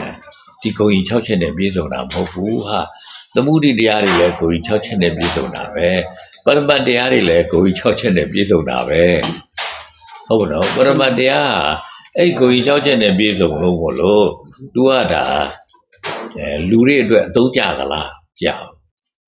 သမုဒိတရားတွေကလည်းပဲကိုကြီး6ချက်နဲ့ပြည့်စုံလို့လူငြိမ်းချမ်းမှုအတွက်အသုံးကျသလားအသုံးမကျဘူးဗျာအဲအဲ့လိုမျိုးလို့ဖြစ်တဲ့အတွက်သမုဒိတရားတွေအတိရလည်းပဲအာငါတို့တခါလေဘယ်လိုလှုပ်လှုပ်လိုက်တာ ဒီနေ့လောက်ခဖြစ်နေဘယ်လောက်တော့ရတယ်လို့ဆိုရင်ဒါသမုဒိတရားတွေပါပဲမှန်ပါဗျာဒီသမုဒိတရားတွေလည်းအကျိုးရှိတာပဲပြောတယ်သူနော်တင်ပါဗျာအဲအဲ့လိုမျိုးလို့ဖြစ်တယ်လို့တကယ်တော့ဟိုအကျိုးမရှိတာတွေမဟုတ်ဘူးဒါပေမဲ့လို့အကျိုးမရှိတာတွေမဟုတ်ရင်ဒါတွေကိုဘာလို့ဖျားမဟောတာတော့ဒါတွေကလူတိုင်းသိနေပြီဒါလူမသိတာဆိုလို့ဘုရားအရိယတရားတစ်ခုတည်းပဲလူတွေမသိတာပေါ့အရိယတရားဘာမသိတာလဲလို့ဆိုလို့ရှိရင်အဲဒီသူဟာ အဲကံတွေကိုကျူးလွန်ကြတယ်ကံတွေကိုကျူးလွန်တယ်ဆိုရင်သူကျူးလွန်ပြီးသွားရင်သူပြီးသွားပြီလို့ထင်တယ်တကယ်တော့သူကျူးလွန်ပြီးသွားရင်သူကျူးလွန်တဲ့ဟာကိုသူသိမ်းထားတယ်အဲ့ဒါငါဟာပဲငါကျူးလွန်ထားတာပြီးတော့လည်းပဲဟောကျူးလွန်တော့ငါပဲဗျငါကျူးလွန်တာငါလှုပ်ထားတာ ဟောအဲ့ဒါလည်းမာနပဲလို့ပြောတာလို့နော်တင်ပါဗျာကျူးလွန်တာကိုသိမ်းထားတာကတဏှာတင်ပါအဲ့ဒီကျူးလွန်သူဟာငါဖြစ်တယ်လို့ဆိုတာကမာနမာနဟောတဏှာတွေမာနတွေကြံခဲ့တာဗျာဘာဖြစ်လို့တော့ဆိုတော့ကျူးလွန်တာကိုသူကကျူးလွန်ထားတဲ့အခါမှာကျူးလွန်ပြီးပြီးရမဟုတ်ဘူးကျူးလွန်ပြီးတော့နောက်စိတ်နဲ့နောက်ကိုဖြစ်ပါတယ်နောက်စိတ်နဲ့နောက်ကိုကဟော သူကျူးလွန်တော့ဟာကိုပြန်ပြီးတော့သူကသိမ့်ပိုက်နေတာဗျာနော်တင်ပါဟာငါကွာငါမို့လို့လုံနိုင်တာဒါမျိုးဆိုရင်လက်မလည်းထောင်တာပေါ့နော်အောင်လာပို့အဲ့ဒါလူတိုင်းရဲ့အလေးထားပါပဲဒါပေမဲ့အဲ့ဒီမာနလည်းသိမသိဘူးမာနလို့သိမသိဘူးပေါ့ဗျာနော်တင်ပါတကယ်တော့ဒါမာနပဲဒါငါငါမို့လို့လုံတာငါတတ်တာကံတွေကိုပြောတော့ဟာကံမဟုတ်တဲ့ဟာတွေကိုဆိုရင်တော့ကိစ္စမရှိဘူးအဲ့ဒီမာနတင်ပါ သူ့တော့အတိမာနလို့ပြောရင်ပြောရမလားပေါ့လေမာနထက်လွန်တဲ့ဟာလို့သာပြောရမယ်ထင်တယ်တင်ပါတကယ်တော့မာနဆိုတာကတော့ခုနကဟိုတဲ့ကိုပဲအဲမဟုတ်တဲ့ကံတွေပေါ့နော်ကံတွေလို့ကံတွေဆိုတာလူတယောက်နဲ့တယောက်မလို့ရမလို့ကောင်းတဲ့အရာတွေပဲဘာလို့လဲဆိုတော့ကိုကနေသူ့ကိုလိန်ပြောလိုက်တယ်ဆိုတော့မလို့ကောင်းဘူးသူ့ဆဲပြောလိုက်တယ်ဆိုတော့မလို့ကောင်းဘူးသူ့ဂုံးတိုက်ပြောလိုက်တယ်ဆိုတာလည်းမလို့ကောင်းဘူးဟောဒါတွေကလို့ရင် အဲ့လိုမျိုးလို့လို့လို့ရှိရင်ဟိုအဆက်ခံရတဲ့သူကလည်းခံနိုင်မှာမဟုတ်ဘူးအလိန်ခံရတဲ့သူကလည်းခံခံနိုင်မှာမဟုတ်ဘူးဂုတ်တိုက်ခံရတဲ့သူကလည်းခံနိုင်မှာမဟုတ်ဘူးဗျာနော်တင်ပါဗျာဘာမှမဟုတ်တဲ့အတိအကျမရှိတာကိုပြောပြီလို့ဆိုရင်တော့အတိအကျမရှိတာပြောတာလည်းအပြောခံရတဲ့သူကခံနိုင်မှာမဟုတ်ဘူးခံနိုင်ပါဗျာကဲအဲ့လိုဆိုတော့အဲ့လိုမျိုးလို့မခံနိုင်တဲ့ဟာတွေဆိုရင်ကတော့အဲဒါကန်နေပဲဗျာလွန်ကျူးတာတွေပဲ သူပြောတာတွေကပြောစရာစကားမဟုတ်တဲ့လူချင်းလူရဲ့ပြောစရာမဟုတ်တဲ့ဟာတွေပြောတာဖြစ်တဲ့အတွက်အဲ့ဒီပြောစရာမဟုတ်တဲ့စကားကိုပြောပြီလို့ဆိုတော့ပြောတယ်ဒါကြောင့်မလို့အဲ့ဒီစကားပြောတဲ့လူဆိုတော့လွန်ကျူးတယ်လို့ဟောပြောရပြီပေါ့နော်တင်ပါဗျာဟောလွန်ကျူးတယ်ပြောသလိုအဲ့လိုပဲလှုပ်တာလည်းပဲအလုံးမဟုတ်တဲ့ဟာတွေလှုပ်ပြီလို့ဆိုတော့အဲလူတယောက်ပစ္စည်းကိုလူတယောက်ကမပေးဘဲနဲ့ဝတ်သုံးခြင်းဆွဲသုံးလိုက်တယ်ဆိုရင်ဒါလည်းလွန်ကျူးတာပဲသူ့ပိုင်ရှင်ကို ပိုင်ရှင်ကိုတခါတည်းခွင့်လည်းမတောင်းဘူးပိုင်ရှင်ကပေးလည်းမပေးဘဲနဲ့ကိုကနေပြီးတော့သူ့ဟာကိုယူသုံးလိုက်တယ်ဆိုရင်တော့ဒါဆိုရင်တော့ယူသုံးတာကိုယ်တိုင်ကအဲသူ့ဟာကိုယူသုံးတာဖြစ်တဲ့အတွက်ကိုယ်လွန်တဲ့လုပ်တာကိုလုပ်လိုက်တာပဲဖြစ်တယ်အဲဒါလွန်ကျူးတာပဲတင်ပါအဲ့ဒါလိုလွန်ကျူးတာတွေကဘယ်ကောင်းပါလဲတဲ့ဟာပေါ့နော်ကောင်းပါအဲအဲ့လိုမဟုတ်ဘဲနဲ့ကဲဒီသူ့ကိုတော့ဖြင့်နှိပ်ဆက်ပြလိုက်မယ်ရိုက်တက်ပြလိုက်မယ်ဆိုရင်လည်းပဲဒါလည်းပဲလူတယောက်ကလူတယောက်ပါလွန်ကျူးရမယ်ဟာမဟုတ်ဘူး အဲ့ဒါလိုတယောက်ကိုတယောက်လွန်ကျူးတာဖြစ်ပြီလို့ဆိုရင်တော့ဒီလူဘယ်လိုလုပ်ပြီးတော့ချမ်းသာတိုင်ပါတော့မလဲသူကတောင်လွန်ကျူးထားပြီဆိုတော့ဟိုတစ်ဘက်ကလည်းပဲလွန်ကျူးတာမခံနိုင်တဲ့အခါကျတော့ချက်ချင်းပြန်ပြီးတော့ရှင်နိုင်လို့ရှိရင်ကိုလို့တူလို့သူကလည်းလုံးပါကိုကသူ့ပါရိုက်ရင်သူကလည်းကိုပါရိုက်ပါပဲတင်ပါသူ့ခြေထောက်နဲ့ကန်ရင်အဲကိုကခြေထောက်နဲ့သူ့ကန်ရင်သူကလည်းခြေထောက်နဲ့ကန်ပါပဲအဲကိုကထုံးနေရရင်သူကလည်းထုံးနေရိုက်ပါပဲအဲအဲ့လိုဆိုတဲ့အခါကျတော့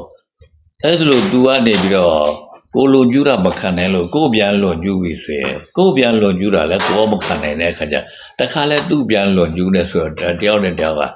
ပฏิဝက္ခဖြစ်ပြီဆိုရင်ဒါတွေတော့မငြိမ်းချတော့ဘူးနည်းချမ်းပါအဲအဲ့ဒါလိုမငြိမ်းချမ်းတဲ့ဟာကိုဒါအဖျားကနေပြီးတော့ဟာလူတွေကမြင်တာတကယ်ကြတော့သူတို့ကောင်းမဲ့ထင်တဲ့ဟာတွေပဲမြင်တာဟာတကယ်တမ်းကတော့လူချင်းလူရဲ့အချင်းချင်းအပေါ်မှာ အဲ့ဒါလိုပฏิပက္ခဖြစ်ပြီးတကလားအဲ့လိုဖြစ်တဲ့အတွက်မငြိမ်းချမ်းတဲ့ဟာကိုမငြိမ်းချမ်းမှမသိဘူးဒုက္ခလို့မသိဘူးဒါတွေကပြောမဆိုရင်တော့လူတွေမှာဖြစ်နေတဲ့ဒုက္ခပဲလူတွေမှသာလားလို့မေးရင်တိရစ္ဆာန်တွေလည်းဖြစ်တာပဲခွေးတွေလည်းဖြစ်အနွားတွေလည်းဖြစ်ခွေးတွေလည်းဖြစ်ကြက်တွေငှက်တွေလည်းဖြစ်နေတာလေဘယ်အကောင်ဘလောင်မှသူကလည်းသူကတော့ငြိမ်းချမ်းနေတာမရှိဘူးဘာလို့လဲဆိုတော့သူကောင်းတဲ့ထင်တာသူလောက်တာဟုတ်သူကောင်းတဲ့ထင်တာသူလောက်တော့ မခံနိုင်ရင်တော့ဟိုတစ်ဖက်ကနေပြီးတော့ပြန်တွေ့တာပေါ့အဲတကယ်လို့မှပြန်တွေ့နိုင်တဲ့အဆင့်မရှိသေးဘူးဆိုရင်တော့သူအချိန်ယူပြီးတော့စောင့်တာပေါ့ဟိုကတော့ကျွဲကိုခတ်လို့ကျွဲကြီးကနေပြီးတော့ကျွဲရှုံးဖြစ်သွားတယ်ဆိုရင်ရှုံးနေကျွဲရတော့ပြေးရတော့တာပဲဘယ်တော့မှပြန်ခတ်မနေဘူးပြန်ခတ်မနေရတဲ့သူအားမွေးတယ်အားမွေးနေရင်လည်းသူ့နိုင်တဲ့ကျွဲကြီးကတော့အိုးအိုလာပြီ သူကလည်းပဲပြိုးပြိုးပြိုးပြိုးပြီးတော့အားမနေနဲ့ပြေးလာပြီဆိုရင်တော့အခုလောက်ဆိုရင်တော့ငါဒီကျွဲကြီးကိုနိုင်တော့ပြီဆိုရင်ပြန်ခတ်တာတော့ဟုတ်ပါရှုံးကျွဲခတ်တယ်ဆိုတာအင်မတန်ကြောက်စရာကောင်းတယ်လို့ဆိုတာပဲအဲရှုံးကျွဲခတ်တယ်ဆိုရင်သိအောင်ခတ်တာတဲ့တင်ပါအဲအဲ့လိုမျိုးများတောင်ပြောကြတယ်ပေါ့နော်ကြောကြကြအဲအဲ့လိုဆိုတဲ့အခါကျတော့ဒါတော်တော်ကို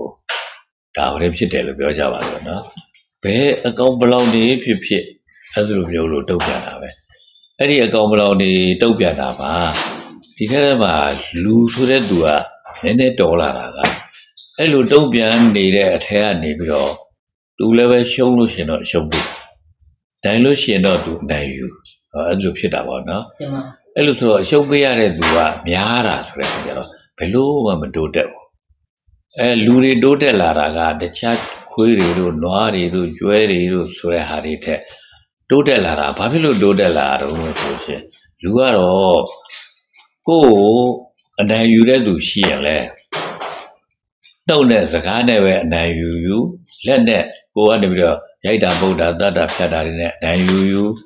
အဲ့လိုမျက်နှာအနေထားကိုလည်းအမှချိုးတဲ့ဟာနဲ့အနိုင်ယူယူအဲ့လိုအနိုင်ယူလို့ရှိရင်အရှုံးပေးတဲ့သူကတကယ်တော့ပြန်မလုံးတဲ့သူ့ကိုအရှုံးပေးရမှာလည်းမဟုတ်ဘူးပြန်မလုံးတဲ့ဟာပြန်မလုံးဘယ်နဲ့လုံးမှာတော့သူကကိုယ် နင်းနာအောင်လုပ်ပြီလို့ဆိုရင်တော့ကိုယ်ဘယ်နဲ့လုံးအောင်မှာတော့ဆိုရင်တော့အဲ့လိုဆိုရင်တော့တို့အဖွဲ့အစည်းထဲမှာအုပ်ချုပ်တဲ့အဖွဲ့အစည်းလုပ်လိုက်တာတင်ပါအဲ့ဒီအုပ်ချုပ်တဲ့အဖွဲ့အစည်းဖြစ်လာပြီဆိုရင်အဲ့ဒီအုပ်ချုပ်တဲ့အဖွဲ့အစည်းကိုကိုယ့်ကိုဘယ်သူကနေပြီးတော့ဘယ်လိုနိုင်ယူအနိုင်ယူပါလဲကိုယ့်ပစ္စည်းကိုကိုယ်မပေးဘဲနဲ့လည်းသူသုံးပါတယ်အဲ့လိုပဲကိုယ့်ကိုတခါတည်းအဲလက်တီးနဲ့လည်းပဲထိုးပါတယ်ပါလေရိုက်ပါတယ်စကားနဲ့လည်းအဟောက်တွေ၆တွေနဲ့သူပြောပါတယ် မျက်နှာတွေလည်းပဲမျက်စောင်းထိုးတာနဲ့ပါရွဲတာနဲ့သူလှုပ်ပါလှုပ်ပါတယ်တော့တိုင်အုတ်ချုပ်တဲ့သူအုတ်ချုပ်တဲ့သူသားတိုင်တော့အုတ်ချုပ်တဲ့သူကနေပြီးတော့ဒီလူတွေအလုံးရဲ့အဲ့လိုမျိုးလို့ပฏิပက္ခဖြစ်တဲ့ဟာကိုရှုံးတဲ့သူကနေပြီးတော့ခါရတဲ့သူကနေပြီးတော့လားတိုင်လိုက်လို့ရှိရင်သူကနေပြီးအဲ့ဒီလိုမျိုးကျူးလွန်တဲ့သူကိုခေါ်ခေါ်ပြီးတကလားအဲ့ဒါကိုအပြစ်ပေးမယ်ဆိုပြီးတော့အပြစ်ပေးမယ် အဲမင်းတလားတော့ထောင်ချမယ်ချုပ်ထဲမှာထားမယ်အစရှိဆိုချုပ်တွေပါရှိလာတယ်ဆိုချုပ်ထဲထားပါပေါ့ခုကျတို့ဝနယ်ထဲမှာဟိုရှိခါဆိုလို့ရှင်တော့မြေကြီးကိုတွင်းကြီးတွေတူးထားတယ်တွင်းတူးတာလည်းပဲတခါလေအထက်နဲ့အောက်နဲ့ညီလေးမဟုတ်ဘူးလေဗျာအထက်ကကျင်းကျင်းတဲ့အောက်ကအကျယ်ကြီးတယ်တက်လို့မရအောင်နေပါပေါ့ဗျာနော်နှုတ်ဘွယ်စောက်လိုက်တူးလို့ဆိုရှင်တော့ဟိုကန်ဒီကန်နဲ့ဆိုရင်တော့တက်လို့ရအောင်ပါ哦အဲအဲ့လိုကြီးကြီးတွေတူးပြီးတော့ အဲ့ထဲချထားတယ်ဗျာအဲ့ထဲချထားတဲ့ခါကျအဲ့လူကတော့ကြောက်ရတာပေါ့သူ့အနေနဲ့တခါလေလူသူတွေလက်ကင်းသွားပြီးတော့နေဒီထဲတဲ့သေမလားလဲမသိသေတဲ့အထိထားမလားလဲမသိတယ်ဆိုကြောက်ရတာပေါ့နော်အဲ့လိုဆိုတော့သူအဲ့လိုမျိုးလို့တယောက်ကိုတယောက်မကျူးလွန်ဝတ်အောင်လူကနေပြီးတော့နှိမ်တာပေါ့နော်လူအုပ်ချုပ်ရေးနဲ့နှိမ်တာအဲ့လိုအုပ်ချုပ်ရေးနဲ့နှိမ်တဲ့အခါကျတော့ဒီကနည်းနည်းတယောက်နဲ့တယောက်ညာဖြစ်ကနေလာရံဖြစ်တာနဲတယ်ဆိုတာ ကိုကသူ့ကိုမကျူးကျော်ဘူးကျူးကျော်ရင်ရံဖြစ်မှာ哦အဲအဲ့ဒါဆိုတော်တော်ကိုမငြိမ်းချမ်းတာတော်တော်ကိုရံဖြစ်ရင်မငြိမ်းချမ်းဘူးလို့ဆိုရင်ဒါလူတိုင်းလူတိုင်းလည်းရံမဖြစ်တဲ့လူမရှိပါဘူးဗျာနော်ဖြစ်ကြပါဗျာဘာလို့ကိုယ်လင်တမယားတွေနေနေလည်းပဲရံမဖြစ်ဘူးတဲ့လင်မယားလို့မရှိတော့ပါဘူးနော်ရှိပါဗျာမိဘနဲ့သားသမီးတွေနဲ့နေနေလဲဘယ်သားသမီးနဲ့မှဘယ်မိဘလည်းရံမဖြစ်ဘူးလို့မရှိတော့ပါဘူးဗျာနော်တင်ပါဗျာအဲ့လိုပဲဘယ်သားသမီးကလည်းဘယ်မိဘမှ ရံမတုတ်ပြဘူးလို့ဆိုလည်းရှိမှာမဟုတ်ပါဘူးလူတိုင်းကတော့အဲ့လိုမျိုးတွေကလည်းရှိနေတာခုနကတော့ဒီကံနေပေါ့ဗျာတင်ပါအဲ့လိုမျိုးလို့အဲလူတွေကအဲ့လိုမျိုးလို့အမှုလို့ဆိုတဲ့ဟာဟိုခါဆွဲဆွဆွဆွဲလို့ရတာ哦အဲ့ဆွဆွဲလို့ရပြီဆိုရင်အဲ့အမှုပေါ်ပြီလို့ဆိုရင်တရားသူကြီးကစစ်လိုက်လို့အဲအုပ်ချုပ်တဲ့သူကစစ်လိုက်လို့အမှုတကယ်ကိုဖြစ်သွားပြီလို့မင်းဒါတော့လွန်ကျူးထားတာ လွန်ကျူးထားတာဖြစ်တဲ့အတွက်မင်းလွန်ကျူးထားတာရနောက်ကိုမလုံးဝတ်အောင်မလုံးတန့်အောင်မင်းတော့ဖြစ်အပြစ်ပေးမယ်ဟောဒီတလမင်းဒီလူတွေနဲ့မနေတဲ့တော့ခွဲနေပေါ့ဒါတင်ပါအဲနောက်ဒီတစ်နှစ်မနေနဲ့တော့ဟောအဲ့လိုမျိုးတွေပေါ့ဗျာအဲဒါမှမဟုတ်လည်းမင်းဒီကျွန်းကုန်မနေနဲ့တော့တကျွန်းကုန်ပို့လိုက်ဟောအဲ့လိုမျိုးတွေအထိရောက်လာတာပေါ့ဗျာ ခုခေတ်ကတော့လည်းအမျိုးမျိုးတော့ဖြစ်လာတာပေါ့နော်တင်ပါဖြစ်လာလားမလာလားတကယ်ကတော့အုပ်စုခွဲပြလိုက်တာပဲဘာလို့အုပ်စုခွဲပြလိုက်တာလဲဆိုတော့ဒီလူအဖွဲ့အစည်းတွေမှာသူကကျူးလွန်တာဆိုတာပေါ်လွင်လို့ပေါ့နော်တင်ပါအဲကျူးလွန်တာပေါ်လွင်တာဆိုတော့ဟာဒါမကျူးလွန်ရဘူးလို့ဆိုတာမျိုးလို့လောက်လိုက်တော့လူကတော်တော်ကြီးအဲအကျူးလွန်တက်တာသွားတာပေါ့တင်ပါအကျူးလွန်တက်တာသွားတဲ့ခါကျလူတွေကတုံးတဲ့တူကပေါင်းပြမှုတွေက ခါရညီညွတ်သွားတော့တာဗျာတင်ပါဗျာအဲညီညွတ်သွားတဲ့အခါကျတော့လူလောကမှာခမည်းလှုပ်ချင်တာလှုပ်ခမည်းလှုပ်တဲ့ဟာလည်းပဲကျွန်တော်တို့သုံးမယ်မော်ရတိုင်းရက်ပဲလားကျွန်တော်တို့ဝိုးဝိုးမယ်လဲဆိုင်မလားကျွန်တော်တို့လည်းပဲစဘာတွေဝယ်စားမယ်အဲလိုပဲရကန်းရက်တဲ့လူကလည်းစဘာမဆိုင်ဘူးစဘာဆိုင်တဲ့လူကလည်းရကန်းမရဘူးဟောလက်သမားလှုပ်တဲ့လူကလည်းပဲရကန်းလည်းမရဘူးလဲလည်းမဆိုင်ဘူးအဲသူစောက်တတ်တဲ့အိမ်တွေအ ကုန်လုံးနေလိုက်ပဲအဲ့လိုဆိုတဲ့အခါကျကဲခမည်းလှုပ်တတ်တာကိုလှုပ်အဲ့ဒါကိုခမည်းဟာကိုသုံးမဲ့လူတွေရှိလာပြီဆိုရင်အဲ့ဒီသုံးမဲ့လူတွေကဝယ်သုံးလိုက်မယ်ကျုပ်လှုပ်တတ်တာကိုလည်းလှုပ်မယ်အကုန်လုံးကျုပ်သုံးမဲ့ဟာတွေအကုန်လုံးကိုကျုပ်တယောက်တည်းမလှုပ်ဘူးကျုပ်လှုပ်တတ်တာကိုပဲလှုပ်မယ်အဲသုံးကျင်တဲ့လူတွေကသုံးကြရောအဲခင်ဗျားတို့လှုပ်တတ်တာပဲလှုပ် ခင်ဗျားတို့လှုပ်တတ်တာကိုကျွန်တော်တို့လိုသုံးကျင်တဲ့လူတွေကနေပြီးတော့ခင်ဗျားတို့ချက်တွေဝယ်သုံးမယ်လို့ဆိုတော့လူတွေအယောင်းဝယ်တွေဖြစ်လာတာဗျစစ်တာပါအဲ့လိုဖြစ်လို့လူတွေတိုးတက်လာတာနော်တင်ပါတကဘာလုံးမှာရှိတဲ့တတ္တဝါတွေအားလုံးထဲမှာဒီလိုရောင်းဝယ်လောက်ကင်ပြီးစားတဲ့တတ္တဝါဆိုလို့ကျတို့ဘယ်တတ္တဝါကိုမြင်ဖို့တလဲလူပဲမြင်ဖို့တာမဟုတ်လားတင်ပါလူပဲအခုကြတော့ခါတဲ့ အာလေပြန်ကြီးတွေလုတ်ပြီးကျတို့နိုင်ငံလဲလေပြန်ရောင်းတာပဲမော်တော်ကားကြီးတွေလုတ်ပြီးကျတို့နိုင်ငံလဲမော်တော်ကားရောင်းတာပဲအဲ့ဒါလိုပဲသူတို့လုတ်တတ်တာတွေကျတို့မလုတ်တတ်ပါဘူးခင်ဗျားတို့အဲအကွန်နေဆိုလဲကျတို့မလုတ်တတ်ဘူးဟောသူတို့လုတ်တာတွေကိုကျတို့သုံးမဲ့လူတွေစီကိုရောက်အောင်ရောင်းလိုက်တယ်ဆိုတဲ့ခါကျတော့သူတို့လည်းပဲအလကားဟိုပေးလိုက်တာပါမဟုတ်ပဲကျတို့စီကအလုံးလုံးလို့ရတယ်ပဲခံနေတော့သူတို့ပေးဟောပေးလိုက်တဲ့အခါကျသူတို့လည်းပဲစီးပွားတွေကြီးပွားတွေဖြစ်ဟော ကျတို့လည်းပဲတခါကိုတော့မဲ့တုံးကျင်တဲ့ဟာတွေကိုသုံးရတယ်ဆိုတဲ့အခါကျလူတွေတိုးတက်တာဗျာဟုတ်ပါဘူးတကယ်တော့လူလည်းတခြားသတ္တဝါနဲ့အတူတူပဲဗျာသူပါဗျာတခြားသတ္တဝါနဲ့အတူတူပဲဆိုရာကနေပြီးတော့မှဘယ်နဲ့ကြောင့်တခါတည်းလူကလူဖြစ်လာရတာလဲလို့ဆိုတဲ့အခါကျသူကညာမဖြစ်လို့ဖြစ်လာကျမညာမဖြစ်လို့ဖြစ်လာတယ်ဆိုတာအနိုင်မယူလို့ဖြစ်လာဒါတော့မှဒီနေ့လဲ နိုင်ယူနေကြတာပဲမဟုတ်လားယူကြတော့ဗျာအခုပြောကြဆိုဆိုရင်ဦးမဲအောင်လှိုင်လို့ဆိုရင်အဲစစ်ကောက်စရာပုံကိုယ်တွေဆိုသူတို့အနိုင်ယူနေတာဗျာနော်ဟုတ်ပါဗျာအနိုင်ယူနေကျွတ်တော့လည်းပဲ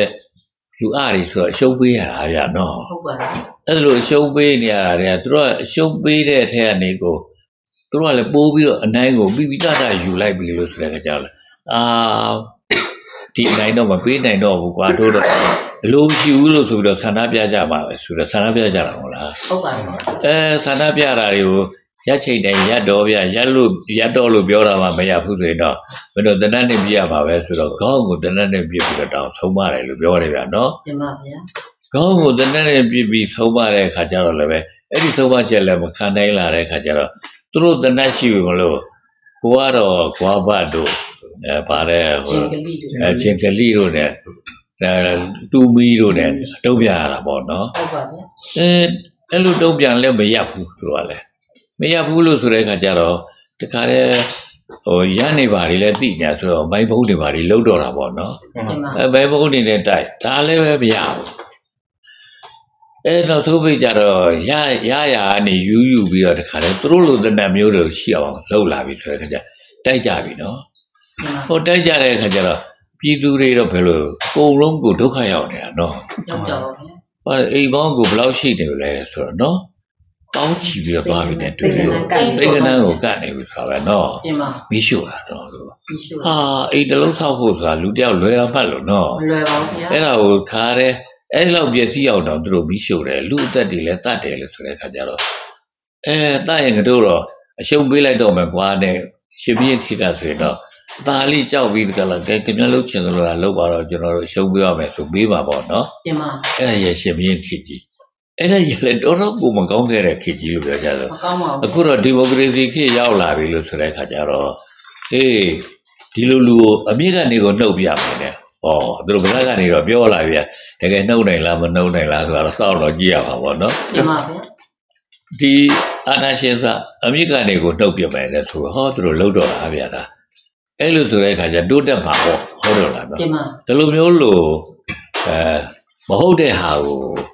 ပြန်လာပြီးတော့ဖြည့်ဆည်းပြစ်တာမျိုးမလုပ်ရဲ့မတိုးတက်ဘူးပြောပါဗျာ။ကျမတကယ်လို့ပြန်လည်ပြီးဖြည့်စည်းတာလုံးတော့လည်းပဲသူတို့ကနိုင်သွားရင်လည်းကိုရှုံးပါပေါ့နော်ကောင်းပါပေါ့တကယ်လို့ပါသူတို့ရှုံးသွားပြီလို့ဆိုရင်ကတော့ဒါတကယ်လွတ်လပ်သွားကြတော့ပါပေါ့နော်ကျမအဲ့ဒါလိုလွတ်လပ်သွားပြီလို့ဆိုရင်ဟောပိုတိုးတက်မှာနော်တိုးတက်မှာပါဟောသူတို့ဒီ ဗီယက်နမ်ဆိုလို့ရှိရင်သူတို့ဗီယက်နမ်နေဘလောက်အသေးခံရတယ်လဲနော်ကျမဗျာခါရလေပြန်နေနဲ့ကျဲဆက်တဲ့တီနဲ့ဆွဲအကုန်လုံးအမျိုးမျိုးလောက်တာကလောက်လည်းမရဘူးကခါရတစ်ပင်နဲ့တော်ရဲနေသွားမယ်ဆိုရင်တော်ရဲလည်းအကုန်လုံးအရွက်တွေချွေပြစ်ခါရ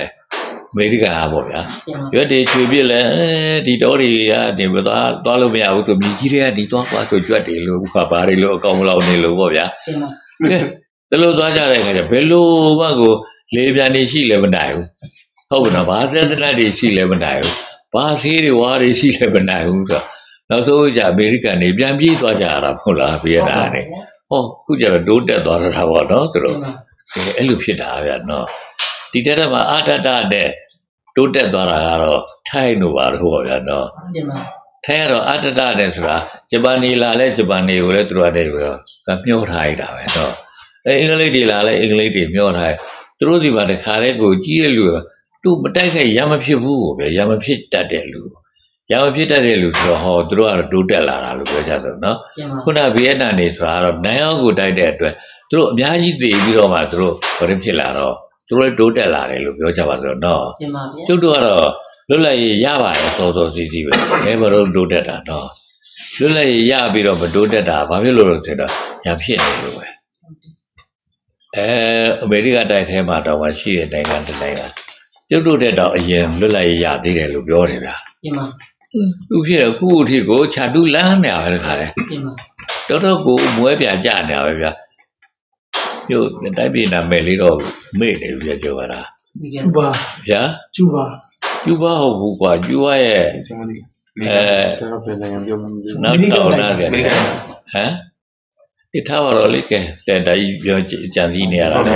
ရှုပ်ပါတယ်နော် အဲဆိုလိုတာကတော့ရဖြစ်တာပါသူတို့ကလည်းအဲအဲ့လိုဖြစ်တာတော့အဲ့လိုဆိုတော့သူတို့ဘယ်လို့မတိုးတက်ဘူးရဖြစ်တဲ့တိုင်ကမတိုးတက်ဘူးပဲရမဖြစ်ဘဲနဲ့ညီညွတ်တဲ့တိုင်ကတိုးတက်ပါပဲဥမာတို့ခင်ဗျားတို့မိသားစုတွေတော့မှခဏခဏရဖြစ်နေတယ်လေမရမတိုးတက်နိုင်ဘူးညာနော်ဟုတ်ပါဘူးအဲရမဖြစ်တဲ့မိမိလင်မယားဆိုရင်တော့အဲတိုးတက်ပါပေါ့လုံးလုံးရမဖြစ်တာပြောတာမဟုတ်ဘူးနော်တကယ်တော့ရဖြစ်နေတာကိုပြောတာပေါ့နော်ရဖြစ်နေတိုးတက်ပါပေါ့နော်အဲအဲ့လိုဖြစ်ပါတယ်ဗျ အဲ့တော့ပြောလို့ဆိုရင်တော့လူလောကကြီးတိုးတက်တာရဲ့ပင်မဟာရမဖြစ်ကြလို့လို့အဲဒါပြောရမှာပေါ့နော်ခုအဲ့ဒါကြီးပြောလာတာရှည်ပါတယ်ဗျနော်ဒီမှာဗျာတကယ်တော့ဒီကနေ့ခေတ်ရောက်အောင်ကျွတ်တော့ပြောလိုက်တာဆိုတော့နည်းပေါ်လွင်တော့သွားတယ်လို့ပြောပါပါပဲနော်ဗျာဟိုဘာမှသူတို့လိုအကောက်မလောင်နေကျတို့သမင်းနေလို့ဂျီတွေလို့တောထဲမှာအဲ့လိုနေတဲ့အကောက်မလောင်နေတယ်ကျတို့ ਨੇ အတူတူပါပဲဗျနော်ဒီမှာဗျာအဲ့ဒီထဲထဲမှာကျတို့ကနေပြီးတော့အဖွဲဖွဲလိုက်တာဗျအဖွဲဖွဲလိုက်တဲ့အခါကျတော့ အဲ့ရဖြစ်တဲ့ဟာတွေတို့အနိုင်ယူတဲ့ဟာတွေတို့ဆိုတာနှိတ်ကွတာတွေလောက်တာပေါ့နှိတ်ကွတာတွေလောက်ပြီးလို့ဆိုရင်တော့တိတ်လည်းပဲရဟန်းတော့မဖြစ်ဝန်တော့ဘူးတိတ်လည်းပဲအနိုင်ရလည်းမယူဝန်တော့ဘူးတိတ်လည်းပဲမကျူးလွန်ဝန်တော့ဘူးတိတ်မကျူးလွန်လို့မမကျူးကျူးလွန်သူမရှိတော့ဘူးလားဆိုရှိတာပဲရှိဒါကြီးဘယ်သူမှပျောက်အောင်မဖြောက်ထိုင်ဘူးဟုတ်ပါပျောက်အောင်မဖြောက်နိုင်တော့ကျွတ်တို့ဗုဒ္ဓခေတ်ရောက်လာတဲ့အချိန်ထိလဲကျူးလွန်နေကြတာပါပဲအဲကျူးလွန်နေကြတဲ့အချိန်ဗုဒ္ဓဟာဒီကျူးလွန်တာကို တို့လူသားတွေစီကနေဖြောက်ပြဖို့လိုတယ်ဒီကျူးလွန်တာဖြောက်ပြဖို့လိုတယ်ဆိုတော့ဒီကျူးလွန်တာကိုဘာနဲ့ဖြောက်မလဲငါဖြင့်နီးမျိုးစုံကိုရှာကြံပြီးတကလားငါအုပ်ချုပ်တဲ့သူရဲ့အုပ်ထပဲလို့လို့ရှာလို့မရဘူးဒီလိုဆိုရင်တော့ငါတော့မသိဘူးဒါဆိုရင်တော့ငါရှာပါပဲတောထဲသွားပြီးတော့ရှာမယ်ဆိုတော့ဒါလည်းလူလည်းတောထဲကိုသွားပြီးဒီကလားဟာကျင့်တော်တာဗျာ ကျင့်အဲ့ဒါလည်းကျင့်လည်းမရဘူးပိုးတော်မှသိုးသေးတယ်ဗျာဒီချာသူဥဒန်းပြောတဲ့စကားလေးတစ်ခုရှိတယ်ဘာလဲဆိုဂါကရံဂဝေတတောဒုက္ခသာတိပုဒ္ဓဗုဒ္ဓံဆိုတော့ဂါကရံအော်ကတို့ရှင်းဒုက္ခဖြစ်ရတာရဲ့လက်တယ်ဟာဘာတူလဲလို့ဆိုတာကိုရှာတာတဲ့အဲ့ဒါပြောက်အောင်ဆိုပြီးတော့လှုပ်လိုက်တာရုပ်တွေလှုပ်နာနေလှုပ်ဟိုခုနပြောကြတဲ့ ဟောခမည်းကျင့်သုံးခဲ့ရတယ်လို့ဆိုတော့ဟိုဟိုဘိုးဆရာတော်ကြီးပေါ့ဘိုးဆရာတော်ကြီးတို့အဲ့ရုပ်တွေနာနေလှုပ်တာဟုတ်လား 慢点。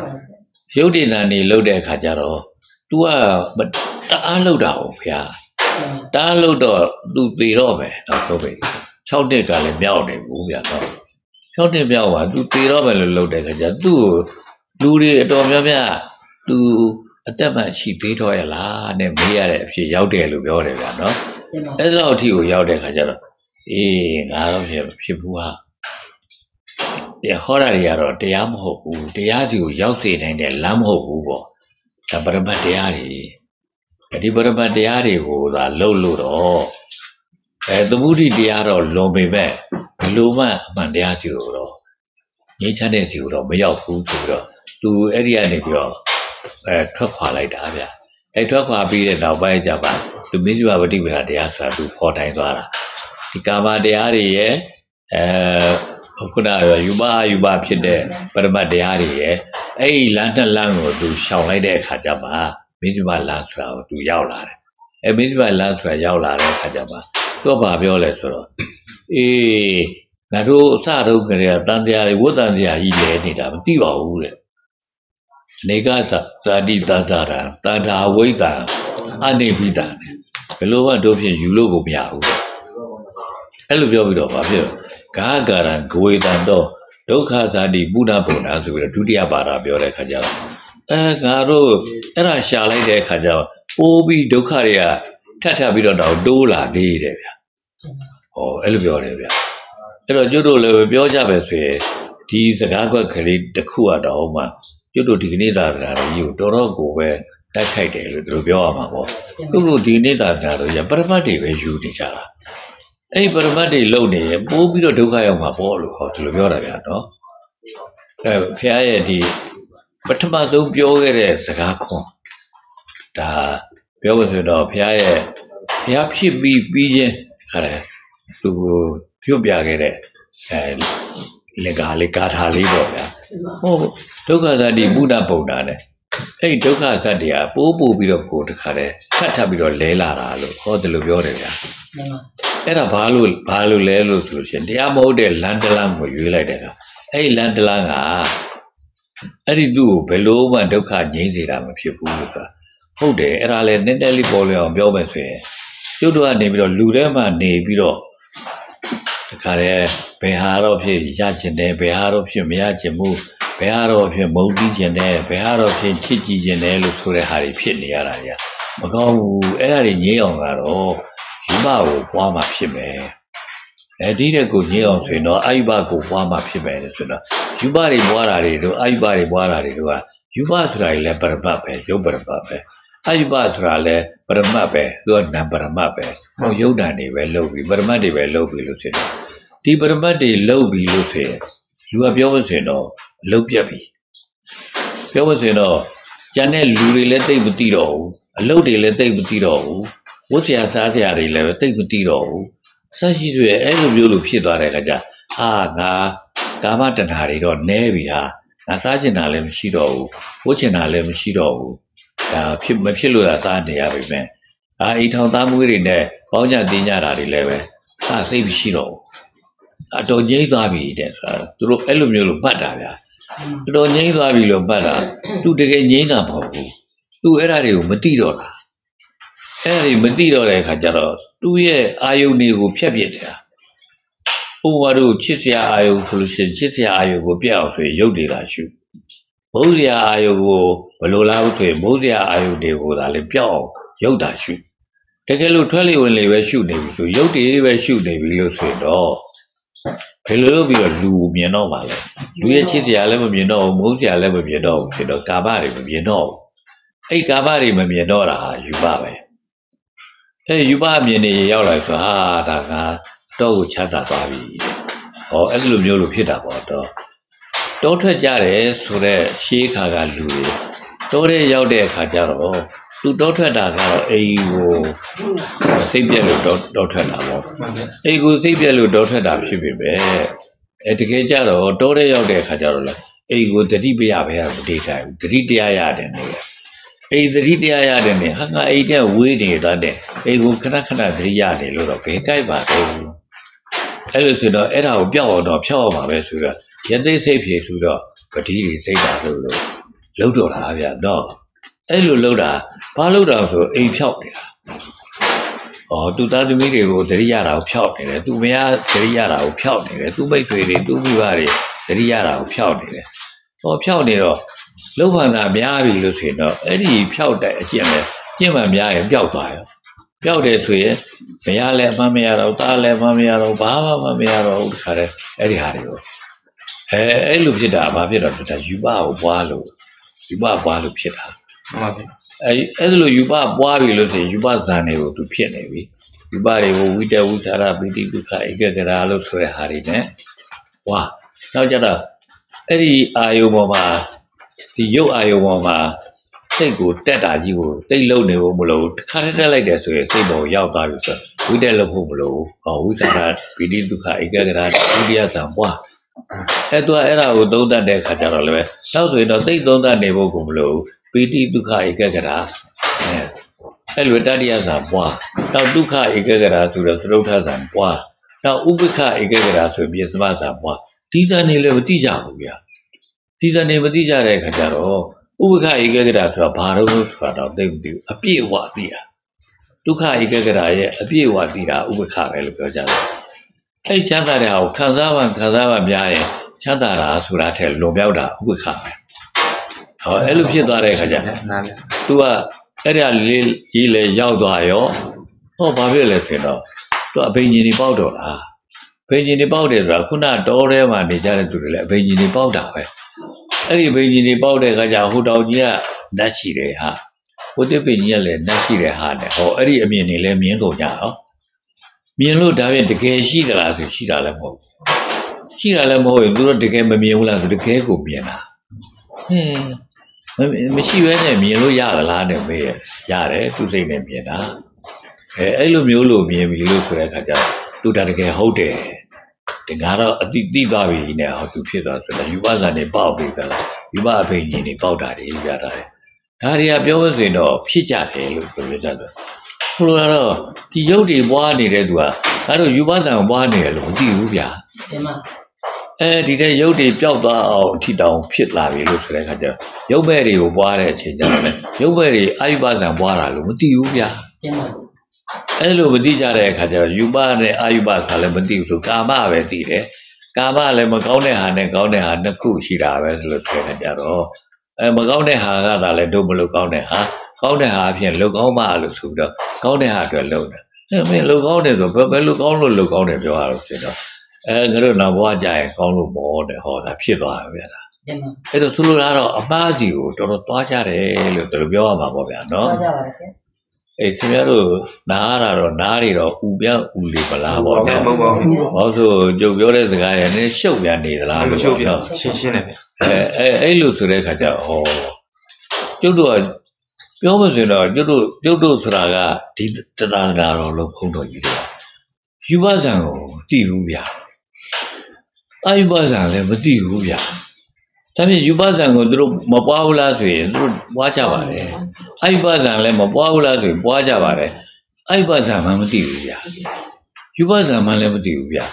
ဒါကလည်းတကယ်မသိတာဘာဖြစ်လို့လဲဆိုတော့ပရမတ်ကနေပြီးတော့ကျွတ်တို့လွှမ်းမိုးထားနေတယ် ဘုန်းကြီးဆိုတာပရမတ်ကလည်းလွှမ်းမိုးတာဗျ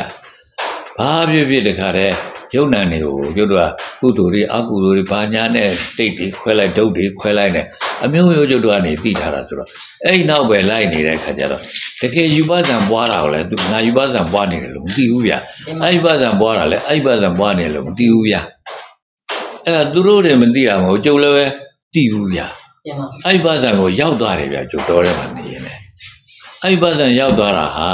ဘာဖြစ်လို့ရောက်သွားတာတော့လို့ဆိုတော့ခါခါကျတော့ဘယ်မှစိတ်ကူးနေတယ်ကွာစိတ်ကူးနေရင်တော့ဖြင့်မဲ့ဟိုပို့ပြီးတော့မဲ့ဒုက္ခများပါပဲစိတ်ဆိုတာပဲတကယ်တော့ကိုယ်ပဲကွာလို့ကိုယ်ကိုယ်ထဲမှာရှိတာပဲလို့ကိုယ်ကိုယ်သာလည်းမင်းတော့ထွက်လို့တော့တဲ့နေတာလို့မင်းစိတ်ကတော့မင်းတော့တဲ့နေတာနဲ့တော့တဲ့လည်းမနေဘူးလို့အဲ့လိုဆိုရင်တော့ ကိုကကိုရင်တော်တဲ့နေလို့တော့ငါတော်ထွက်တာမဟုတ်ဘူးစိတ်ပါထွက်မှာငါတော်ထွက်တာဖြစ်မှာအဲ့လိုဆိုရင်တော့ငါစိတ်တော်တဲ့ကနေဘယ်မှမသွားနဲ့ငါရှိတဲ့နေရာပဲနေငါနဲ့အတူတူပဲနေဆိုပြီးတော့စိတ်ထိရင်ကနေပြီးတော့နောက်ဆုံးပြီးရောက်သွားတာလေးတခုဟာဘာမှမရှိတာစီရောက်သွားတယ်ဘာမှမရှိတာစီရောက်သွားတဲ့ကြဟဲလို့ဘာမှမရှိတာကြီးလည်းရှိတာပဲလားအေးဒီဘာမှမရှိတာကြီးကတော့ကောင်းတော့ကောင်းတယ်ဗျာ ဘာကောင်းတာတော့လို့ဆိုတဲ့ကကြတော့အဲငါတော်တဲ့ဟိုပျော်ပျော်မွေ့မွေ့နဲ့တစ်သက်ပံလုံးနေမယ်လို့ဆုံးဖြတ်ချက်နဲ့ငါထွက်လာခဲ့တာအခုတော်တဲ့ဟိုတစ်သက်ပံနေဖို့ဆိုတော့ငါမဖြစ်နိုင်ဘူးလို့ပဲငါစိတ်ကအိမ်သွားလိုက်ရွာသွားလိုက်မြို့သွားလိုက်တကယ်ချင်းနေစီသွားလိုက်ဟိုငါစိတ်ကတော်တဲ့မှာမနေပဲနဲ့ဆိုတဲ့ကကြတော်တဲ့မှာငါပျော်နေဖို့ရဘယ်တတ်နိုင်မှာတော့ तू ကအဲ့လိုတွေကူးခံကူးခံများလို့ရှရင်တော့ကြကြတော့လည်းပဲသူ့နောက်ကိုကိုယ်ကိုဆွဲခေါ်သွားပြီဆိုရင်ကိုယ်လည်းပဲပါသွားတော့မှာလို့တော်ရဲကနေပြီးတော့ထွက်သွားတော့မှာလို့အဲအဲ့လိုဖြစ်တဲ့အတွက်စိတ်ကိုကတော်ရဲမှာနေအောင်ဆိုပြီးတော့ခေါ်ရင်ကနေပြီးတော့မှစိတ်ကခေါ်ခေါ်ထားပါနေများတဲ့ခါကျတော့စိတ်ကဘာဖြစ်တော့လို့မရှိတာကြီးဖြစ်သွားတယ် စိတ်မရှိတာကြီးဖြစ်သွားတဲ့ခါကျဟဲလို့ဒါပါလဲလို့ကိုဘာမှမသိတာဆိုတဲ့ခါကျဒီယူပဇံပွားလို့လဲယူပဇံပွားမှမသိဘူးအာယူပဇံပွားလို့လဲအာယူပဇံပွားမှမသိဘူးအဲ့လိုမသိတဲ့အခါကျတော့ဘာမှမရှိတာစီရောက်သွားတဲ့အခါမှာတော့အေးဟောဒီဘာမှမရှိတာကတော့ဖြင့်ငါသုံးလို့တော့ရတယ်ဟာဘာလဲလို့ဆိုတော့ငါတော်တဲ့ဟိုငါငါစိတ်ကိုခေါ်ထားခြင်းတာဆိုတော့ငါခေါ်ထားတော့လည်းရတာလည်းမဟုတ်ဘူးလို့အ ခုကျတူဘာမှမရှိဘူးလို့ဆိုတော့ဘယ်မှမသွားဘူးလို့ဘယ်မှမသွားဘူးဆိုရင်ငါနေနေတယ်တော်တယ်သူလည်းနေနေတော့တာပေါ့လို့အဲ့ဒါနဲ့အဲ့ဒါတော့အသုံးကြတယ်လို့ဒီလောက်ပဲသိတာဒါအာယုပဇာမှမသိဘူးအဲ့ဒီဘာသာမှမသိပဲနဲ့အဲ့လိုနေနေရင်ကနေပြီးတော့ပဲနေရင်နေရင်ကနေကြာတော့အဲ့ဒီအာယုဘဇာအတိကနေပြီးတော့ကြားလာတဲ့အခါကျတော့ဘာဖြစ်လာတော့ဆိုတော့ဘယ်ဟာလဲတကယ်ရှိတာမဟုတ်ပါဘူးဟာ အိမ်လည်းတကယ်ရှိတာမဟုတ်ပါဘူးဟာကြောင်းလည်းတကယ်ရှိတာမဟုတ်ပါဘူးဟာသင်္ကန်းလည်းတကယ်ရှိတာမဟုတ်ပါဘူးဟာကိုယ်ကိုယ်ကြီးတောင်တကယ်ရှိတာမဟုတ်ပါဘူးဟာနဲ့ဆိုတာမျိုးတွေဖြစ်ဖြစ်လာပြက်ပြက်လာဟာဒါဆိုရင်တော့လို့တဆေဆိုတာလည်းကျတော့ကြောက်ပါတယ်ခင်ဗျာတော့တဆေဆိုတာလည်းတကယ်ရှိတာမဟုတ်ပါဘူးဟာချစ်စရာတွေလည်းကျတော့ချစ်ချင်တတ်တယ်ချစ်စရာလည်းတကယ်ရှိတာမဟုတ်ပါဘူးဟာနဲ့ချစ်စရာလည်းပဲကိုကနေရောဟော ပြက်ပြက်တော့လှုပ်တယ်ကြောက်စရာလည်းပြက်ပြက်တော့လှုပ်နိုင်တယ်ဆိုတော့ချစ်စရာနဲ့ကြောက်စရာကဲကွာသွားပြီလို့ဆိုတဲ့အခါကျတော့ဟဲ့လို့ငါအခုချစ်စရာလည်းမချစ်တတ်တော့ဘူးလို့အဲမုန်းစရာလည်းငါမမုန်းတတ်တော့ဘူးလို့ဒါလို့ဆိုရင်ငါတော့လွတ်လပ်တဲ့သူဖြစ်သွားပြီလားအေးဟုတ်တာဗောလို့ချစ်တာကဆွဲပြီးတော့နှစ်တာခံရရင်လည်းမလွတ်လပ်ဘူးလို့ကြောက်စရာကနေဆွဲပြီးနှစ်တာခံရရင်လည်းမ လွတ်လပ်ဘူးလို့အခုတော့ချစ်စရာလည်းမရှိဘူးကြိုက်စရာလည်းမရှိမုန်းစရာလည်းမရှိကြောက်စရာလည်းမရှိဖြစ်ပြီလို့ဆိုရင်တော့ဒါအတူဘုရားလက်ထက်ကလွတ်လပ်တယ်လို့ဆိုတာဒါဖြစ်မှာပဲနဲ့တူတယ်။ဒါအခုမလွတ်လပ်လို့ငါဘာလုပ်နေရသလဲ။ငါဘာအဲ့ဒီမျိုးချုံတော်ထားလို့လေဘာမှချုံတော်ဘူးငါလွတ်လပ်တယ်ပြီလို့။ဟာဒါလို့ဆိုရင်ငါတရားရတာထင်တယ်။ဟောဖြစ်သွားတာဗျာတင်ပါ။အဲ မင်းတရားရတယ်လို့ထင်တာဘာဖြစ်လို့ထင်တာလဲ။ဖះလဲကဘုန်းကြီးတွေလွတ်လပ်တယ်ဆိုတာဒီလိုလွတ်လပ်တာပဲဖြစ်ရမယ်။အဲဒီလိုလွတ်လပ်တာဆိုလို့ရှိရင်လို့ဆိုရင်ငါလည်းလွတ်လပ်နေပြီလို့ဆိုတဲ့အခါကျတော့ငါတကယ်ကိုပြလို့ရတယ်ပြလို့ရတာဖြစ်တဲ့အတွက်တကယ်ကိုလွတ်လပ်နေဆိုတော့ဟာဒါဆိုရင်တော့ဒါတရားရတာပဲဖြစ်ရမှာပါသူတို့လည်းတရားရတယ်ဆိုပြီးတော့လုပ်တယ်ဆိုရင်ငါလည်းတရားရတာဖြစ်ရမှာပါလို့ကျုပ်ကိုကျုပ်အဲ့လိုကိုကျုပ်ကလည်းသုံးဖြတ်တယ်သုံးဖြတ်တော့ ကျုပ်ကိုတခါပြန်ပြီးတော့သောနာပြန်တယ်ဘယ်လိုသောနာလဲလို့ဆိုတဲ့အခါကျတော့အေးမင်းတရားရတယ်ဆိုတာမင်းဘယ်တရားလုပ်လို့ရတာလဲငါလည်းဘယ်တရားမှမလုပ်ဘယ်တရားမှအားထုတ်လို့ရတာပေါ့ဟာတရားဆိုတာဘယ်အာမထုတ်ခွဲနေတော့ရမလားပေါ့ဟုတ်တယ်လို့အာမထုတ်ခွဲကျွတ်တို့ဖျားလဲတရားထုတ်ခွဲတယ်ကျွတ်တို့ဖျားရဲ့တပည့်ဘုန်းကြီးတွေလည်းအာထုတ်ခိုင်းတယ်တရားတော်မတွေလည်းအာထုတ်ခိုင်းတယ်လို့ဆိုတဲ့ခါကျတော့ငါးပြဘာမှလည်းအာထုတ်တာလည်းမဟုတ်ဘဲနဲ့တော်တယ်ပါဒီတိုင်းနေနေရန်နေပြီးတော့မင်းတရားရတယ်လို့လို့ရ မင်းတရားရတာကပြောမစင်တော့ဟိုဘယ်လမန်းနီးဆိုတာဟာမျိုးလိုပဲအလုံးလို့ရတာမဟုတ်တဲ့ပိုက်ဆံဟာကိုယ်ပိုက်ဆံမဟုတ်ဘူးကိုယ်ပိုက်ဆံမဟုတ်ပြီမလို့လေမဲရပြီဆိုရင်ဝမ်းသာကြတာပဲပေါ့နော်အလုံးမလို့ခဲနေရတာတော့ဘာလို့ဖြစ်ခုငါအဲ့လိုဝမ်းသာရမလားပေါ့ဟာဟုတ်ဘူးဟာလို့တကယ်တော့ဓာတ်ရငါတရားရတာမဖြစ်နိုင်ပါဘူးပေါ့မဖြစ်နိုင်ဘူးလို့ဆိုလို့ရှိရင်လေဒါအပြင်မငြိမ်းချမ်းဘူးလားဟာငြိမ်းချမ်းပါတယ်ဟာငြိမ်းချမ်းနေဆိုရင်မင်းဒါ တရားရတာပဲပေါ့လို့ဆိုရင်မင်းအဲ့ဒီတရားရတာမင်းဘာလုပ်လို့လဲဘာလုပ်ဘာမှမလုပ်ဘဲနဲ့ဆိုတော့လေဟုတ်ပါဘူးနဲ့ကိုအဲ့ဒါကြီးအငင်းပွားနေကိုတယောက်တည်းအငင်းပွားနေကိုတယောက်တည်းအငင်းပွားလားတွေလည်းကြာသွားပြီလားတွေလည်းကြာသွားတဲ့အခါကျအဖြေဘယ်လိုထုတ်လာလဲဆိုတော့ကဲဒါလို့ဆိုရင်ဘဘပြည်မှာရိတ်တာတွေအများပြားရှိတယ်အဲ့ဒီရိတ်တာတွေဟာဖတ်ထုတ်နေကြတာအဲငါဘာမှအာမထုတ်ဘဲနဲ့တောင်မှလွတ်လပ်တယ်ဆိုတဲ့စီကိုငါရောက်တယ်လို့ဆိုရင် သူတို့လည်းပဲငါတဲ့တောင်ပို့ပြီးတော့ရောက်ရပါရောက်ရစရာရှိတယ်ပေါ့သူတို့ရောက်တဲ့လွတ်လပ်တယ်ဆိုတဲ့အရာနဲ့ငါလွတ်လပ်တယ်ဆိုတဲ့အရာတူမလားထူးမလားအဲ့ဒါကိုသိဖို့ရံအတွက်သူတို့စီသွားဟောရိတ်တာတွေစီသွားဆိုတော့ရိတ်တာတွေစီသွားပြီးတော့အရှင်ဘုရားတို့ဒီတော့တရားမပေးပါနဲ့ဒီတော့တရားလို့ခြင်းလို့လာတာမဟုတ်ပါဘူးလို့ဒီတော့လာတာဟာအရှင်ဘုရားတို့ရတဲ့တရားဟာ ဘယ်လိုရတာလို့ဆိုတာနားထောင်ခြင်းလို့လာတာပါအဲ့ဒါပဲနားထောင်မရစေအဲ့ဒါပဲဒီတော့ပြောပေးပါတဲ့ဟောပြောရတယ်ကျုပ်ကတည်းကအဲ့လိုပြောတဲ့အခါကျသူတို့လည်းပဲသူတို့ရတာကိုမပြောချင်တတ်ပါဘူးဒါပြောလို့ကျုပ်ကလည်းအေးရတာပဲထက်ခါထက်ခါတောင်းဆိုတာဆိုတော့သူတို့သူတို့ရတာကိုပြောရတာပဲပြောတဲ့အခါကျတော့ဟာငါရတာနဲ့သိမကွာပါဘူးကွာလို့ဒီလိုလိုပါပဲနဲ့အဲ့လိုကနေပြီးတော့ကျုပ်ကဖြစ် ဒါတွေကိုရုပ်တွေပဲဖြစ်တယ်လို့ဆိုတာတွေကိုသိလာတဲ့အဖြစ်ကြီးရောက်တာပဲတန်နေပဲဖြစ်တယ်လို့ဆိုတာ။အော်တန်နေရုပ်တွေဆိုတာကလွတ်လပ်တယ်လို့ပြောပြီးတော့ဖြစ်ပြီပဲ။ဒါဘာမှလုပ်လို့မရဘူး။ဟောအဲ့ဒါသိသွားတာပေါ့နော်။ကျုပ်စကားတွေသိရှည်သွားပါတော့ပဲနော်။အဲဆိုလိုတာကတော့ဖြင့်အဲ့လိုတသားသနာတော်လုံးကရုပ်တွေတောင်ရုပ်တွေလို့မသိဘူးနာနေတောင်နာနေလို့မသိဘူးစာလို့ပေလို့နဲ့ရုပ်ဆိုတာဘယ်လိုဟာဖြစ်တ ယ်နာဆိုတာဘယ်လိုဟာဖြစ်တယ်လို့သိတာပဲရှိကြတာမျိုးလို့ဖြစ်တာပေါ့ဗျာအဲ့လိုဖြစ်တဲ့အခါကျတော့ဒီရုပ်တွေနာနေကိုဟပွားလို့ရှိရင်အဲရုပ်တွေပွားရင်ယူပကံတွေဖြစ်တယ်အဲနန်းတွေကိုပွားလို့ရှိရင်တော့အာယူပကံတွေဖြစ်တယ်ဟောအဲ့လိုဆိုရင်တော့ဟာဒီကံတွေဟာတကယ်တော့ဘုရားလောကီတရားတွေလို့ပြောတာလောကီတရားတွေလို့ပြောပြီဆိုတော့အကုသိုလ်ကံလည်းလောကီတရားကာမကုသိုလ်ကံလည်းလောကီတရား ယူပကုသိုလ်ကံအာယူပကုသိုလ်ကံပဲကံလေးမျိုးလုံးဟာလောကီတရားတွေလို့ဆိုတဲ့အခါကျတော့ဒါလောကုတ္တရာတရားမဟုတ်ဘူးလောကုတ္တရာတရားမဟုတ်ပါတော့ငါကလည်းတရားမဟုတ်ဘူးကဲဒါလို့ဆိုရင်ငါကလည်းတရားမဟုတ်ဘူးပဲငါကတော့တော်တော်တော့တခါတည်းအဲအထက်တန်းရောက်လာတယ်လို့ငါကငါသိရတယ်လို့ဘာဖြစ်လို့လဲလို့ဆိုလို့ရှိရင်ဒါဘယ်လိုဖြစ်တာတော့ဒါဝိဘက်ဖြစ်တာလည်းသိသွားတယ်ဘာလို့ဆိုအဲ့ဒီဟာငါဖြစ်သွားတာဟုတ် အဲ့ဒါငါဖြစ်သွားပြီဆိုတော့ဒါပြောဆိုတဏှာဖြစ်သွားတယ်ပေါ့အဲ့လိုပွားနေတာငါဖြစ်လာတယ်ဟာဒါလည်းပဲမာနဖြစ်လာတာပဲအဲ့လိုပွားတဲ့ဟာဒီပဲလေအဲငါပဲလို့ဆိုမျိုးလို့ကိုယ်အတ္တလို့အဲ့လိုသိသွားပြီလို့ဆိုတဲ့အခါကျတော့ဟာ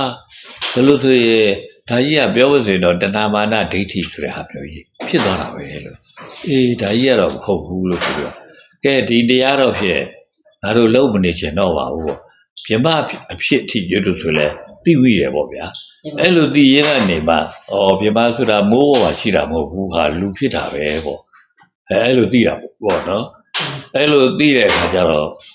အဲဒါလို့ဆိုတော့အရိယတရားဆိုတာတော့ဖြစ်ဒါဘုန်းကြီးကအဓိကရှားပါလို့အရိယတရားကိုဟောသူဘယ်သူရှိလဲဆိုလွယ်ရှိဘူးလို့အရိယတရားဟောသူမရှိဘူးလို့ဆိုရင်မနဲ့လောက်တော့ အဲဖះပဲဟောတာအဲ့လိုဆိုတော့ဖះပဲသွားတွေ့ဆိုဟာဖះသေးတာကြာလာပြီဘယ်လိုသွားတွေ့ပါလဲကွာအေး तू သေသွားပြီဖြစ်ပေမဲ့ तू ပြောခဲ့တဲ့စကားတွေကတော့ပြက်ပြက်ရွရွတချို့တလေရှိရှိပါဖြစ်ပေမဲ့တကယ်တော့အဲ့ဒါတွေဟာသူရဲ့ပြောခဲ့ချက်အရိယာပြောခဲ့ချက်တွေဖြစ်တဲ့အတွက်တော့ဒါတွေတော့တွေ့ရပါပဲအဲ့ဒါတွေပါရှားပဲဆိုတော့ရှားတဲ့အခါကျတော့အရိယတရားတော့လည်းတွေ့အောင်တော့မရှားနိုင်ပါဘူး မရှားနိုင်ဘူးလို့ဆိုတာအရိယတရားမှမသိတာဖြစ်တဲ့အတွက်မတွေ့တာပေါ့နော်တကယ်တော့မင်္ဂလာတုတ်လည်းအရိယတရားပါပဲမေတ္တာတုတ်လည်းအရိယတရားပါပဲတပတ်စကဘဝတ္တတုတ်လည်းအရိယတရားပဲအနတ္တလက္ခဏာတုတ်လည်းအရိယတရားပဲဖျားဟောတာတွေမှန်များလိုက်အကုန်လုံးကသုတ်တော်ဘောဒီကနေ့ဆို9000လောက်အထိရှိတယ်အဲ့9000လောက်ဟာအကုန်လုံးအရိယတရားတွေကြီးတယ်ပါဒါပေမဲ့အရိယတရားမသိတာဆိုတော့အရိယတရားရှားလို့ကိုတွေ့ဘူးဗျာ ရှားလို့မတွေ့တဲ့အခါကျမှဘာသွားတွေ့သလဲလို့ဆိုတော့ရှားပန်းရှားပန်းများတဲ့အခါကျတော့ဘုရားကိုရှင်းဘဝနောက်ဘဝဖြစ်တယ်လို့မဖြစ်ဘူးလို့ဆိုတာပြတ်စွာဘုရားအခြေခံပြီးတော့ဟောတာလားဘုရားလို့ဟောမေးတယ်ရဟန်းတယောက်ကလည်းမေးတယ်ပရပိုက်ကလည်းမေးတယ်အဲ့လိုမေးတာကိုသူဖြေတဲ့ခါကျအေးမင်းမေးတဲ့တတ္တဝါတွေသေပြီးနောက်ဖြစ်တယ်လို့ဆိုတဲ့စကားမျိုးဒါမပြောဘူးတဲ့ဟောဘုရားပြောတယ်ဗျာ အဲလူစေတတ္တဝါတွေသေပြီးနောက်မဖြစ်ဘူးလားဘုရားလို့ပြောတာအဲမင်းမေးတဲ့တတ္တဝါတွေသေပြီးနောက်မဖြစ်ဘူးဆိုတဲ့စကားမျိုးငါမပြောဘူးလို့ပြောတယ်လူစေတတ္တဝါတွေသေပြီးနောက်တချို့တော့ဖြစ်ပြီးတချို့ကမဖြစ်လို့လားဘုရားဆိုအေးမင်းမေးတဲ့အဲ့လိုမျိုးဆိုအပြောမျိုးအဲ့ဒီစကားမျိုးငါမပြောဘူးလို့ပြောတယ်ဗျာဒါလို့ဆိုရင်တတ္တဝါတွေသေပြီးနောက်ဖြစ်တာလည်းမဟုတ်မဖြစ်တာလည်းမဟုတ်ဆိုတာကိုအခြေခံတာလားဘုရားဆို အဲ့ဒီဖြစ်တာလည်းမဟုတ်မဖြစ်တာလည်းမဟုတ်တဲ့မင်းမေးတဲ့စကားမျိုးအာမပြောဘူးနဲ့ပြောတာဆိုတော့ဟာဘုရားတတ္တဝါတွေသေပြီးနောက်ဖြစ်တယ်လို့လည်းမပြောဘူးဆိုပါလားမဖြစ်ဘူးလည်းမပြောဘူးဆိုပါလားတချို့ဖြစ်တချို့မဖြစ်လည်းမပြောဘူးဆိုပါလားဖြစ်တာလည်းမဟုတ်မဖြစ်တာလည်းမဟုတ်လည်းမပြောဘူးဆိုပါလားအဲ့တော့ဘာပြောလို့လဲသူဘာပြောလို့လဲဆိုတဲ့အခါကျတော့သူဘာပြောလို့လဲဆိုတာတော့မသိကြတော့ဘူးကိုယ်ဆိုရင်လည်းပဲပြောပါတယ်ဗျ ဘိုးဘုဆရာတော်ကြီးလည်းပဲတေပြီးတော့ဖြစ်တာဖြစ်တယ်လို့ဆိုတာလည်းပြောတာဗျာမဟုတ်ဘူးမဖြစ်ဘူးဆိုတာလည်းမဟုတ်ဘူးနဲ့ဆိုတာမျိုးတော့ခင်ဗျားမိုးကုတ်တရားကိုလှုပ်တယ်ဆိုမိုးကုတ်စာအုပ်တွေတော့ဖတ်ရလားမသိဘူးတော်တော်များများတော့ဖတ်တော်ဖတ်ရင်နားအောင်နာကြပါအဲကျုပ်ကတော့မိုးကုတ်စာအုပ်တွေကဖတ်လို့သိကောင်းတာဗျတကယ်ဝတ္ထုစာအုပ်ကောင်းသလောက်ကိုကောင်းတယ်ဗျဟုတ်တရားတွေကလေအဲကြောင့်လို့ကျုပ်စီအကုန်လုံးနှိပါဖတ်တယ်ဗျကျုပ်တဲ့ဆုံသမျှလောက်ပေါ့ဗျာဖတ်တယ်ကဘယ်မလို့သူ တေးပြီးတော့ဖြစ်တယ်တော့မဖြစ်ဘူးတော့တချို့ဖြစ်တချို့မဖြစ်တော့ဖြစ်တာလည်းမဟုတ်မဖြစ်တာလည်းမဟုတ်တော့ဆိုတဲ့ဟာမျိုးကိုဘုရားမပြောဘူးလို့ဆိုတဲ့စကားပြောပြီပြီးတော့လေသူကတော့ဖြစ်တယ်တော့မဖြစ်ဘူးလို့ရောက်တာပဲမဟုတ်လားနောက်ဆုံးပိတ်ကြတော့လည်းမဖြစ်တာကြီးကိုရောက်အောင်တဲ့လောက်ရမယ်လို့ဆိုရယ်နိဗ္ဗာန်ရောက်တယ်ဆိုတာနိဗ္ဗာန်မဖြစ်တာလို့ကလည်းသူကယူတာမဟုတ်လားမှန်ပါဆရာပါဟင်းဒါဆိုရင်တော့သူကလည်းပဲဘုရားပြောတဲ့ဟာတော့လည်းမလိုက်ဘူးပေါ့မလိုက်တာဘာဖြစ်လို့လဲဆိုဘုရားပြောတယ် အဲ့ဒီပုဂ္ဂိုလ်ပြောတာမှသေးသေးချာချာသိရတာလေအဲ့လိုဆိုရှင်ဘုရားဘာပြောနေတာတုံးဟောတေပြီးတော့ဖြစ်တယ်လည်းမပြောဘူးမဖြစ်ဘူးလည်းမပြောဘူးတချို့ဖြစ်တချို့မဖြစ်လည်းမပြောဘူးဖြစ်တာလည်းမဟုတ်ဘူးမဖြစ်တာလည်းမဟုတ်လည်းမပြောဘူးအစရှိပြအချက်၁၀ချက်ရှိတယ်လို့အသက်ကဒီကိုနဲ့အတူလားဖျားဆိုလဲအဲ့လိုလည်းမပြောဘူးတဲ့အသက်ကဒီကိုနဲ့တခြားစီလားဖျားဆိုအဲ့လိုလည်းမပြောဘူးတဲ့ဟောအဲ့ ဒါတွေမပြောရင်အရှင်ဘုရားဘာပြောနေတာလဲလို့ဆိုရမေကိုမေးတာကိုအထိအဲ့ဆရာတော်ကြီးလည်းပဲမလိုက်လိုက်လို့လို့တော့ပြောရမှာပေါ့ဗျာနော်ကျုပ်တို့လည်းပဲမလိုက်နိုင်ခဲ့ပါဘူးမလိုက်နိုင်ခဲ့ရင်ကနေပြီးတော့နောက်ဆုံးပိတ်ကြတဲ့ခါကျတော့ပရပိုက်ကြီးတယောက်လို့ထင်တယ်အဲ့လိုပဲဘုရားကိုမေးရကနေပြီးတော့ဘုရားအဲ့ဒီအချက်၁၀ချက်ကိုတကယ်ကိုဒါမပြောဘူးကြီးတယ်ပြောတဲ့ခါကျအာအရှင်ဘုရားယူတာနဲ့တပည့်တော်ယူတာတူတယ်ဖះနော်လို့ အဲ့ဒီပရပိုက်ကြီးကပြောတာပေါ့ဗျာတပည့်တော်လည်းသိပြီးတော့ဖြစ်တယ်လည်းမပြောဘူးမဖြစ်ဘူးလည်းမပြောဘူးတချို့ဖြစ်တချို့ဖြစ်လည်းမပြောဘူးဖြစ်တာလည်းမဟုတ်မဖြစ်တာလည်းမဟုတ်လည်းမပြောဘူးအသက်နဲ့ကိုဟာအတူတူလို့လည်းမပြောဘူးအသက်နဲ့ကိုဟာတခြားစီလို့လည်းမပြောဘူးဒီလူကြီးဟာအရှိလဲလို့လည်းမပြောဘူးအရှိမဟုတ်ဘူးလို့လည်းမပြောဘူးအဆုံးရှိတယ်လို့လည်းမပြောဘူးအဆုံးမရှိဘူးလည်းလည်းမပြောဘူးတဲ့ဒီချက်ဆယ်ချက်လုံးကိုဘုရားပြောတာဟုတ်အဲ့ဆယ်ချက်လုံးပြောပြီးတဲ့အခါကျတော့ အေးတပည့်တော်လည်းအဲ့လိုမပြောဘူးဖျားတယ်အဲ့လိုဆိုတော့တပည့်တော်ရဲ့အတိတရားတဲ့ကျက်စွာဘုရားရဲ့အတိတရားအတူတူပေါ့ဖျားလို့ဟောဘုရားကိုဘုရားလျှောက်တာအဲ့ဒါဘုရားငြိမ့်နေလိုက်လို့ရှိရင်တော့အင်းလို့ပြောတာ ਨੇ တူပါပေါ့နော်ငြိမ့်မနေဘူးဗျာနော်ငြိမ့်မနေဘူးလို့ဆိုတဲ့အခါကျမဟုတ်ပါဘူးကွာနဲ့လည်းမပြောဘူးမဟုတ်ပါဘူးကွာလို့ပြောတော့ညင်းတာဖြစ်မယ်မဟုတ်လားအဲ့ကြတော့ခါရဲ ပြဝနာကြီးကအဲ့ဒီကုဏပရပိုက်ကြီးကသူစိတ်တူတာပေါ့ဘယ်လိုစိတ်တူလဲဆိုမင်းကအဲ့လိုဆိုတော့ဘာမှမယူဘူးလို့ဆိုတဲ့အယူကိုယူတာလားတဲ့ဖះပြန်မေးတာဗျာနော်ဒီချက်ဆယ်ချက်ကိုမယူဘူးကြီးတဲ့အကုန်လုံးပြောလိုက်တော့မင်းကဘာမှမယူဘူးလို့ဆိုတဲ့အယူကိုယူတာလားတဲ့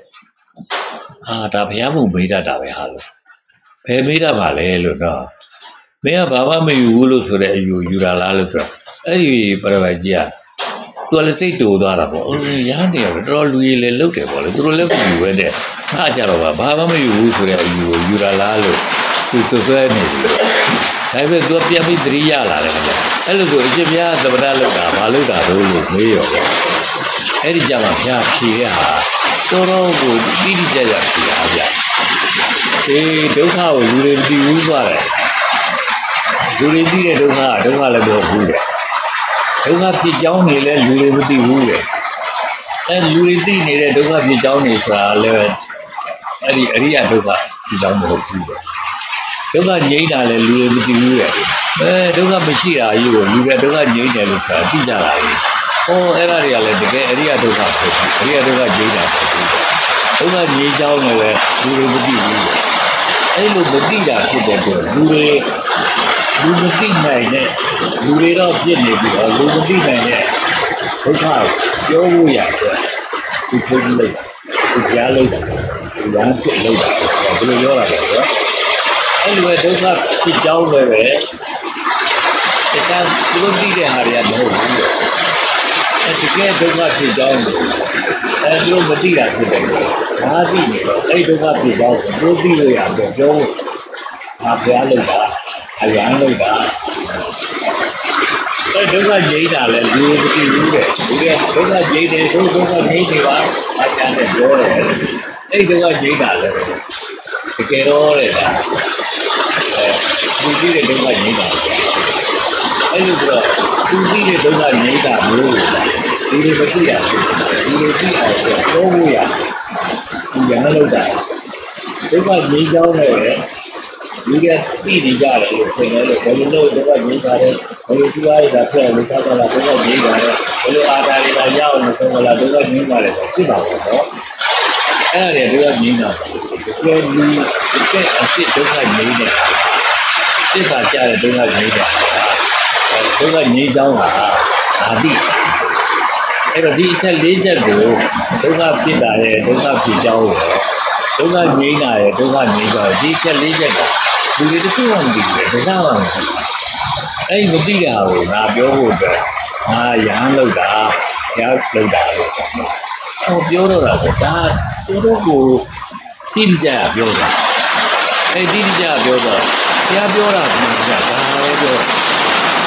ဟုတ်တယ်လေဒါတော့ပြောတာရပြောတော့ 气的。